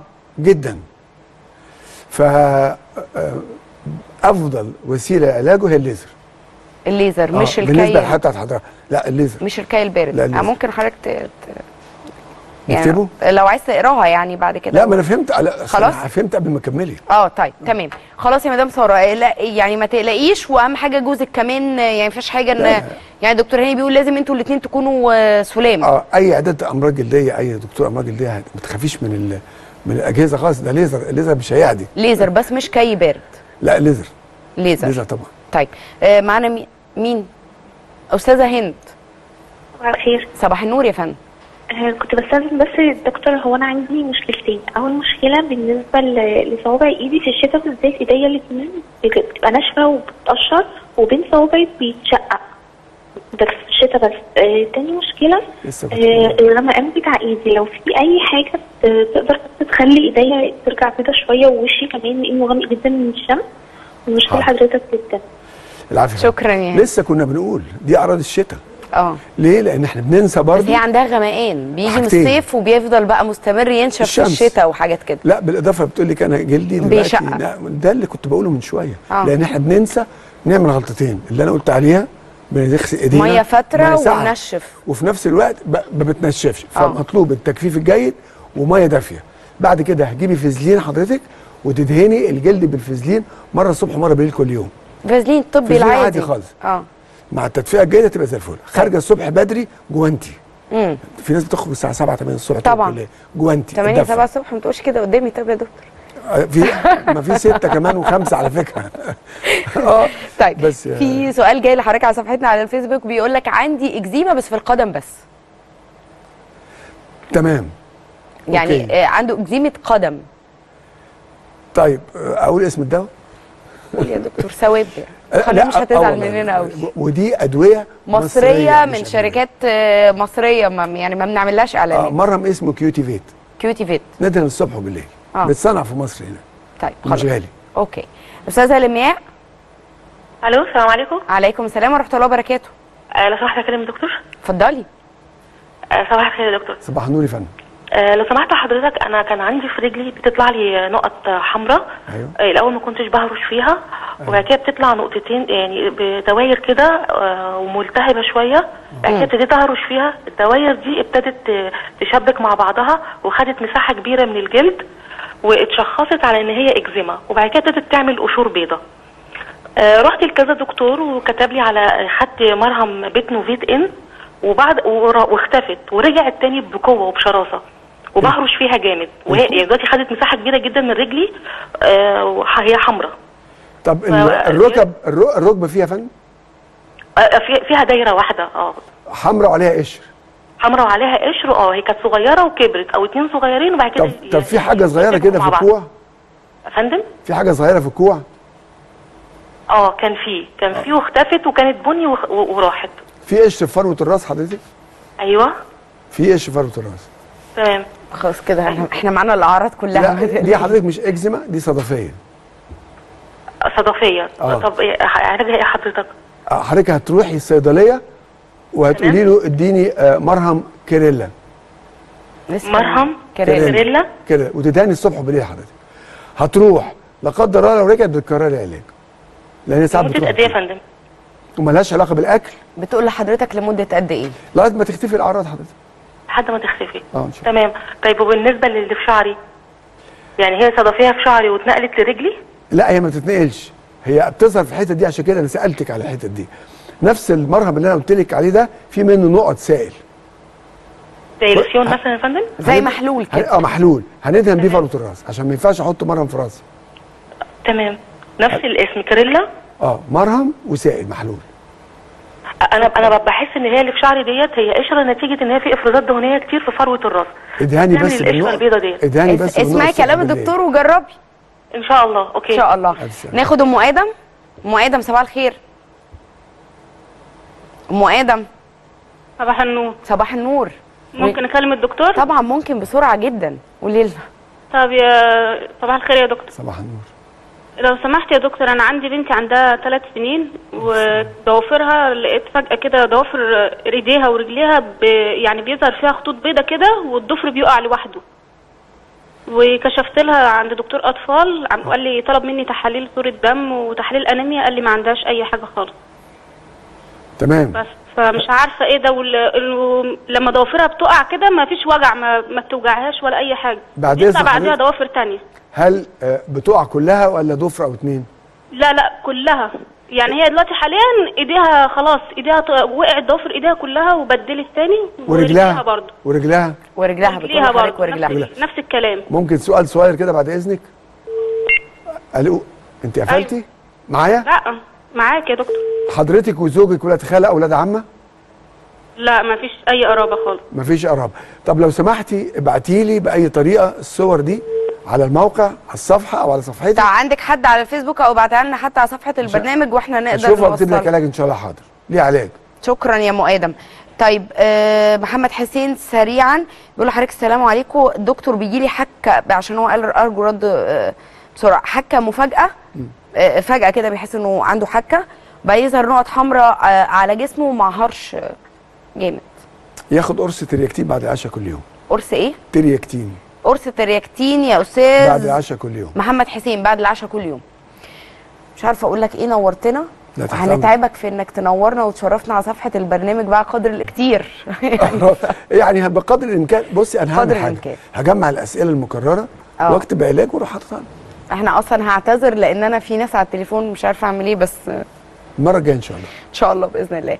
شكرا لحضرتك نورتنا أستاذ الدكتور هاني الناظر استشاري الأمراض الجلدية ورئيس المركز القومي للبحوث الأسبق. في انتظار تشريفك لينا مرة ثانية إن شاء الله بشكرك. كل مشاهدينا في هذا الصباح بشكركم على حسن المتابعة ونتمنى يا رب دعواتكم لينا نكون بنقدم كل اللي يحوز على رضاكم ويكون بيلاقي اهتمام كمان منكم وأي حد زي ما إحنا متعودين عنده أي مقترحات موضوعات معينة إحنا صفحتنا صفحة البرنامج بتستقبل مقترحات حضراتكم على مدار اليوم وعلى مدار الأسبوع. أشوفكم بكرة على خير وحلقة جديدة من هذا الصباح. تحياتي لكم أسماء مصطفى.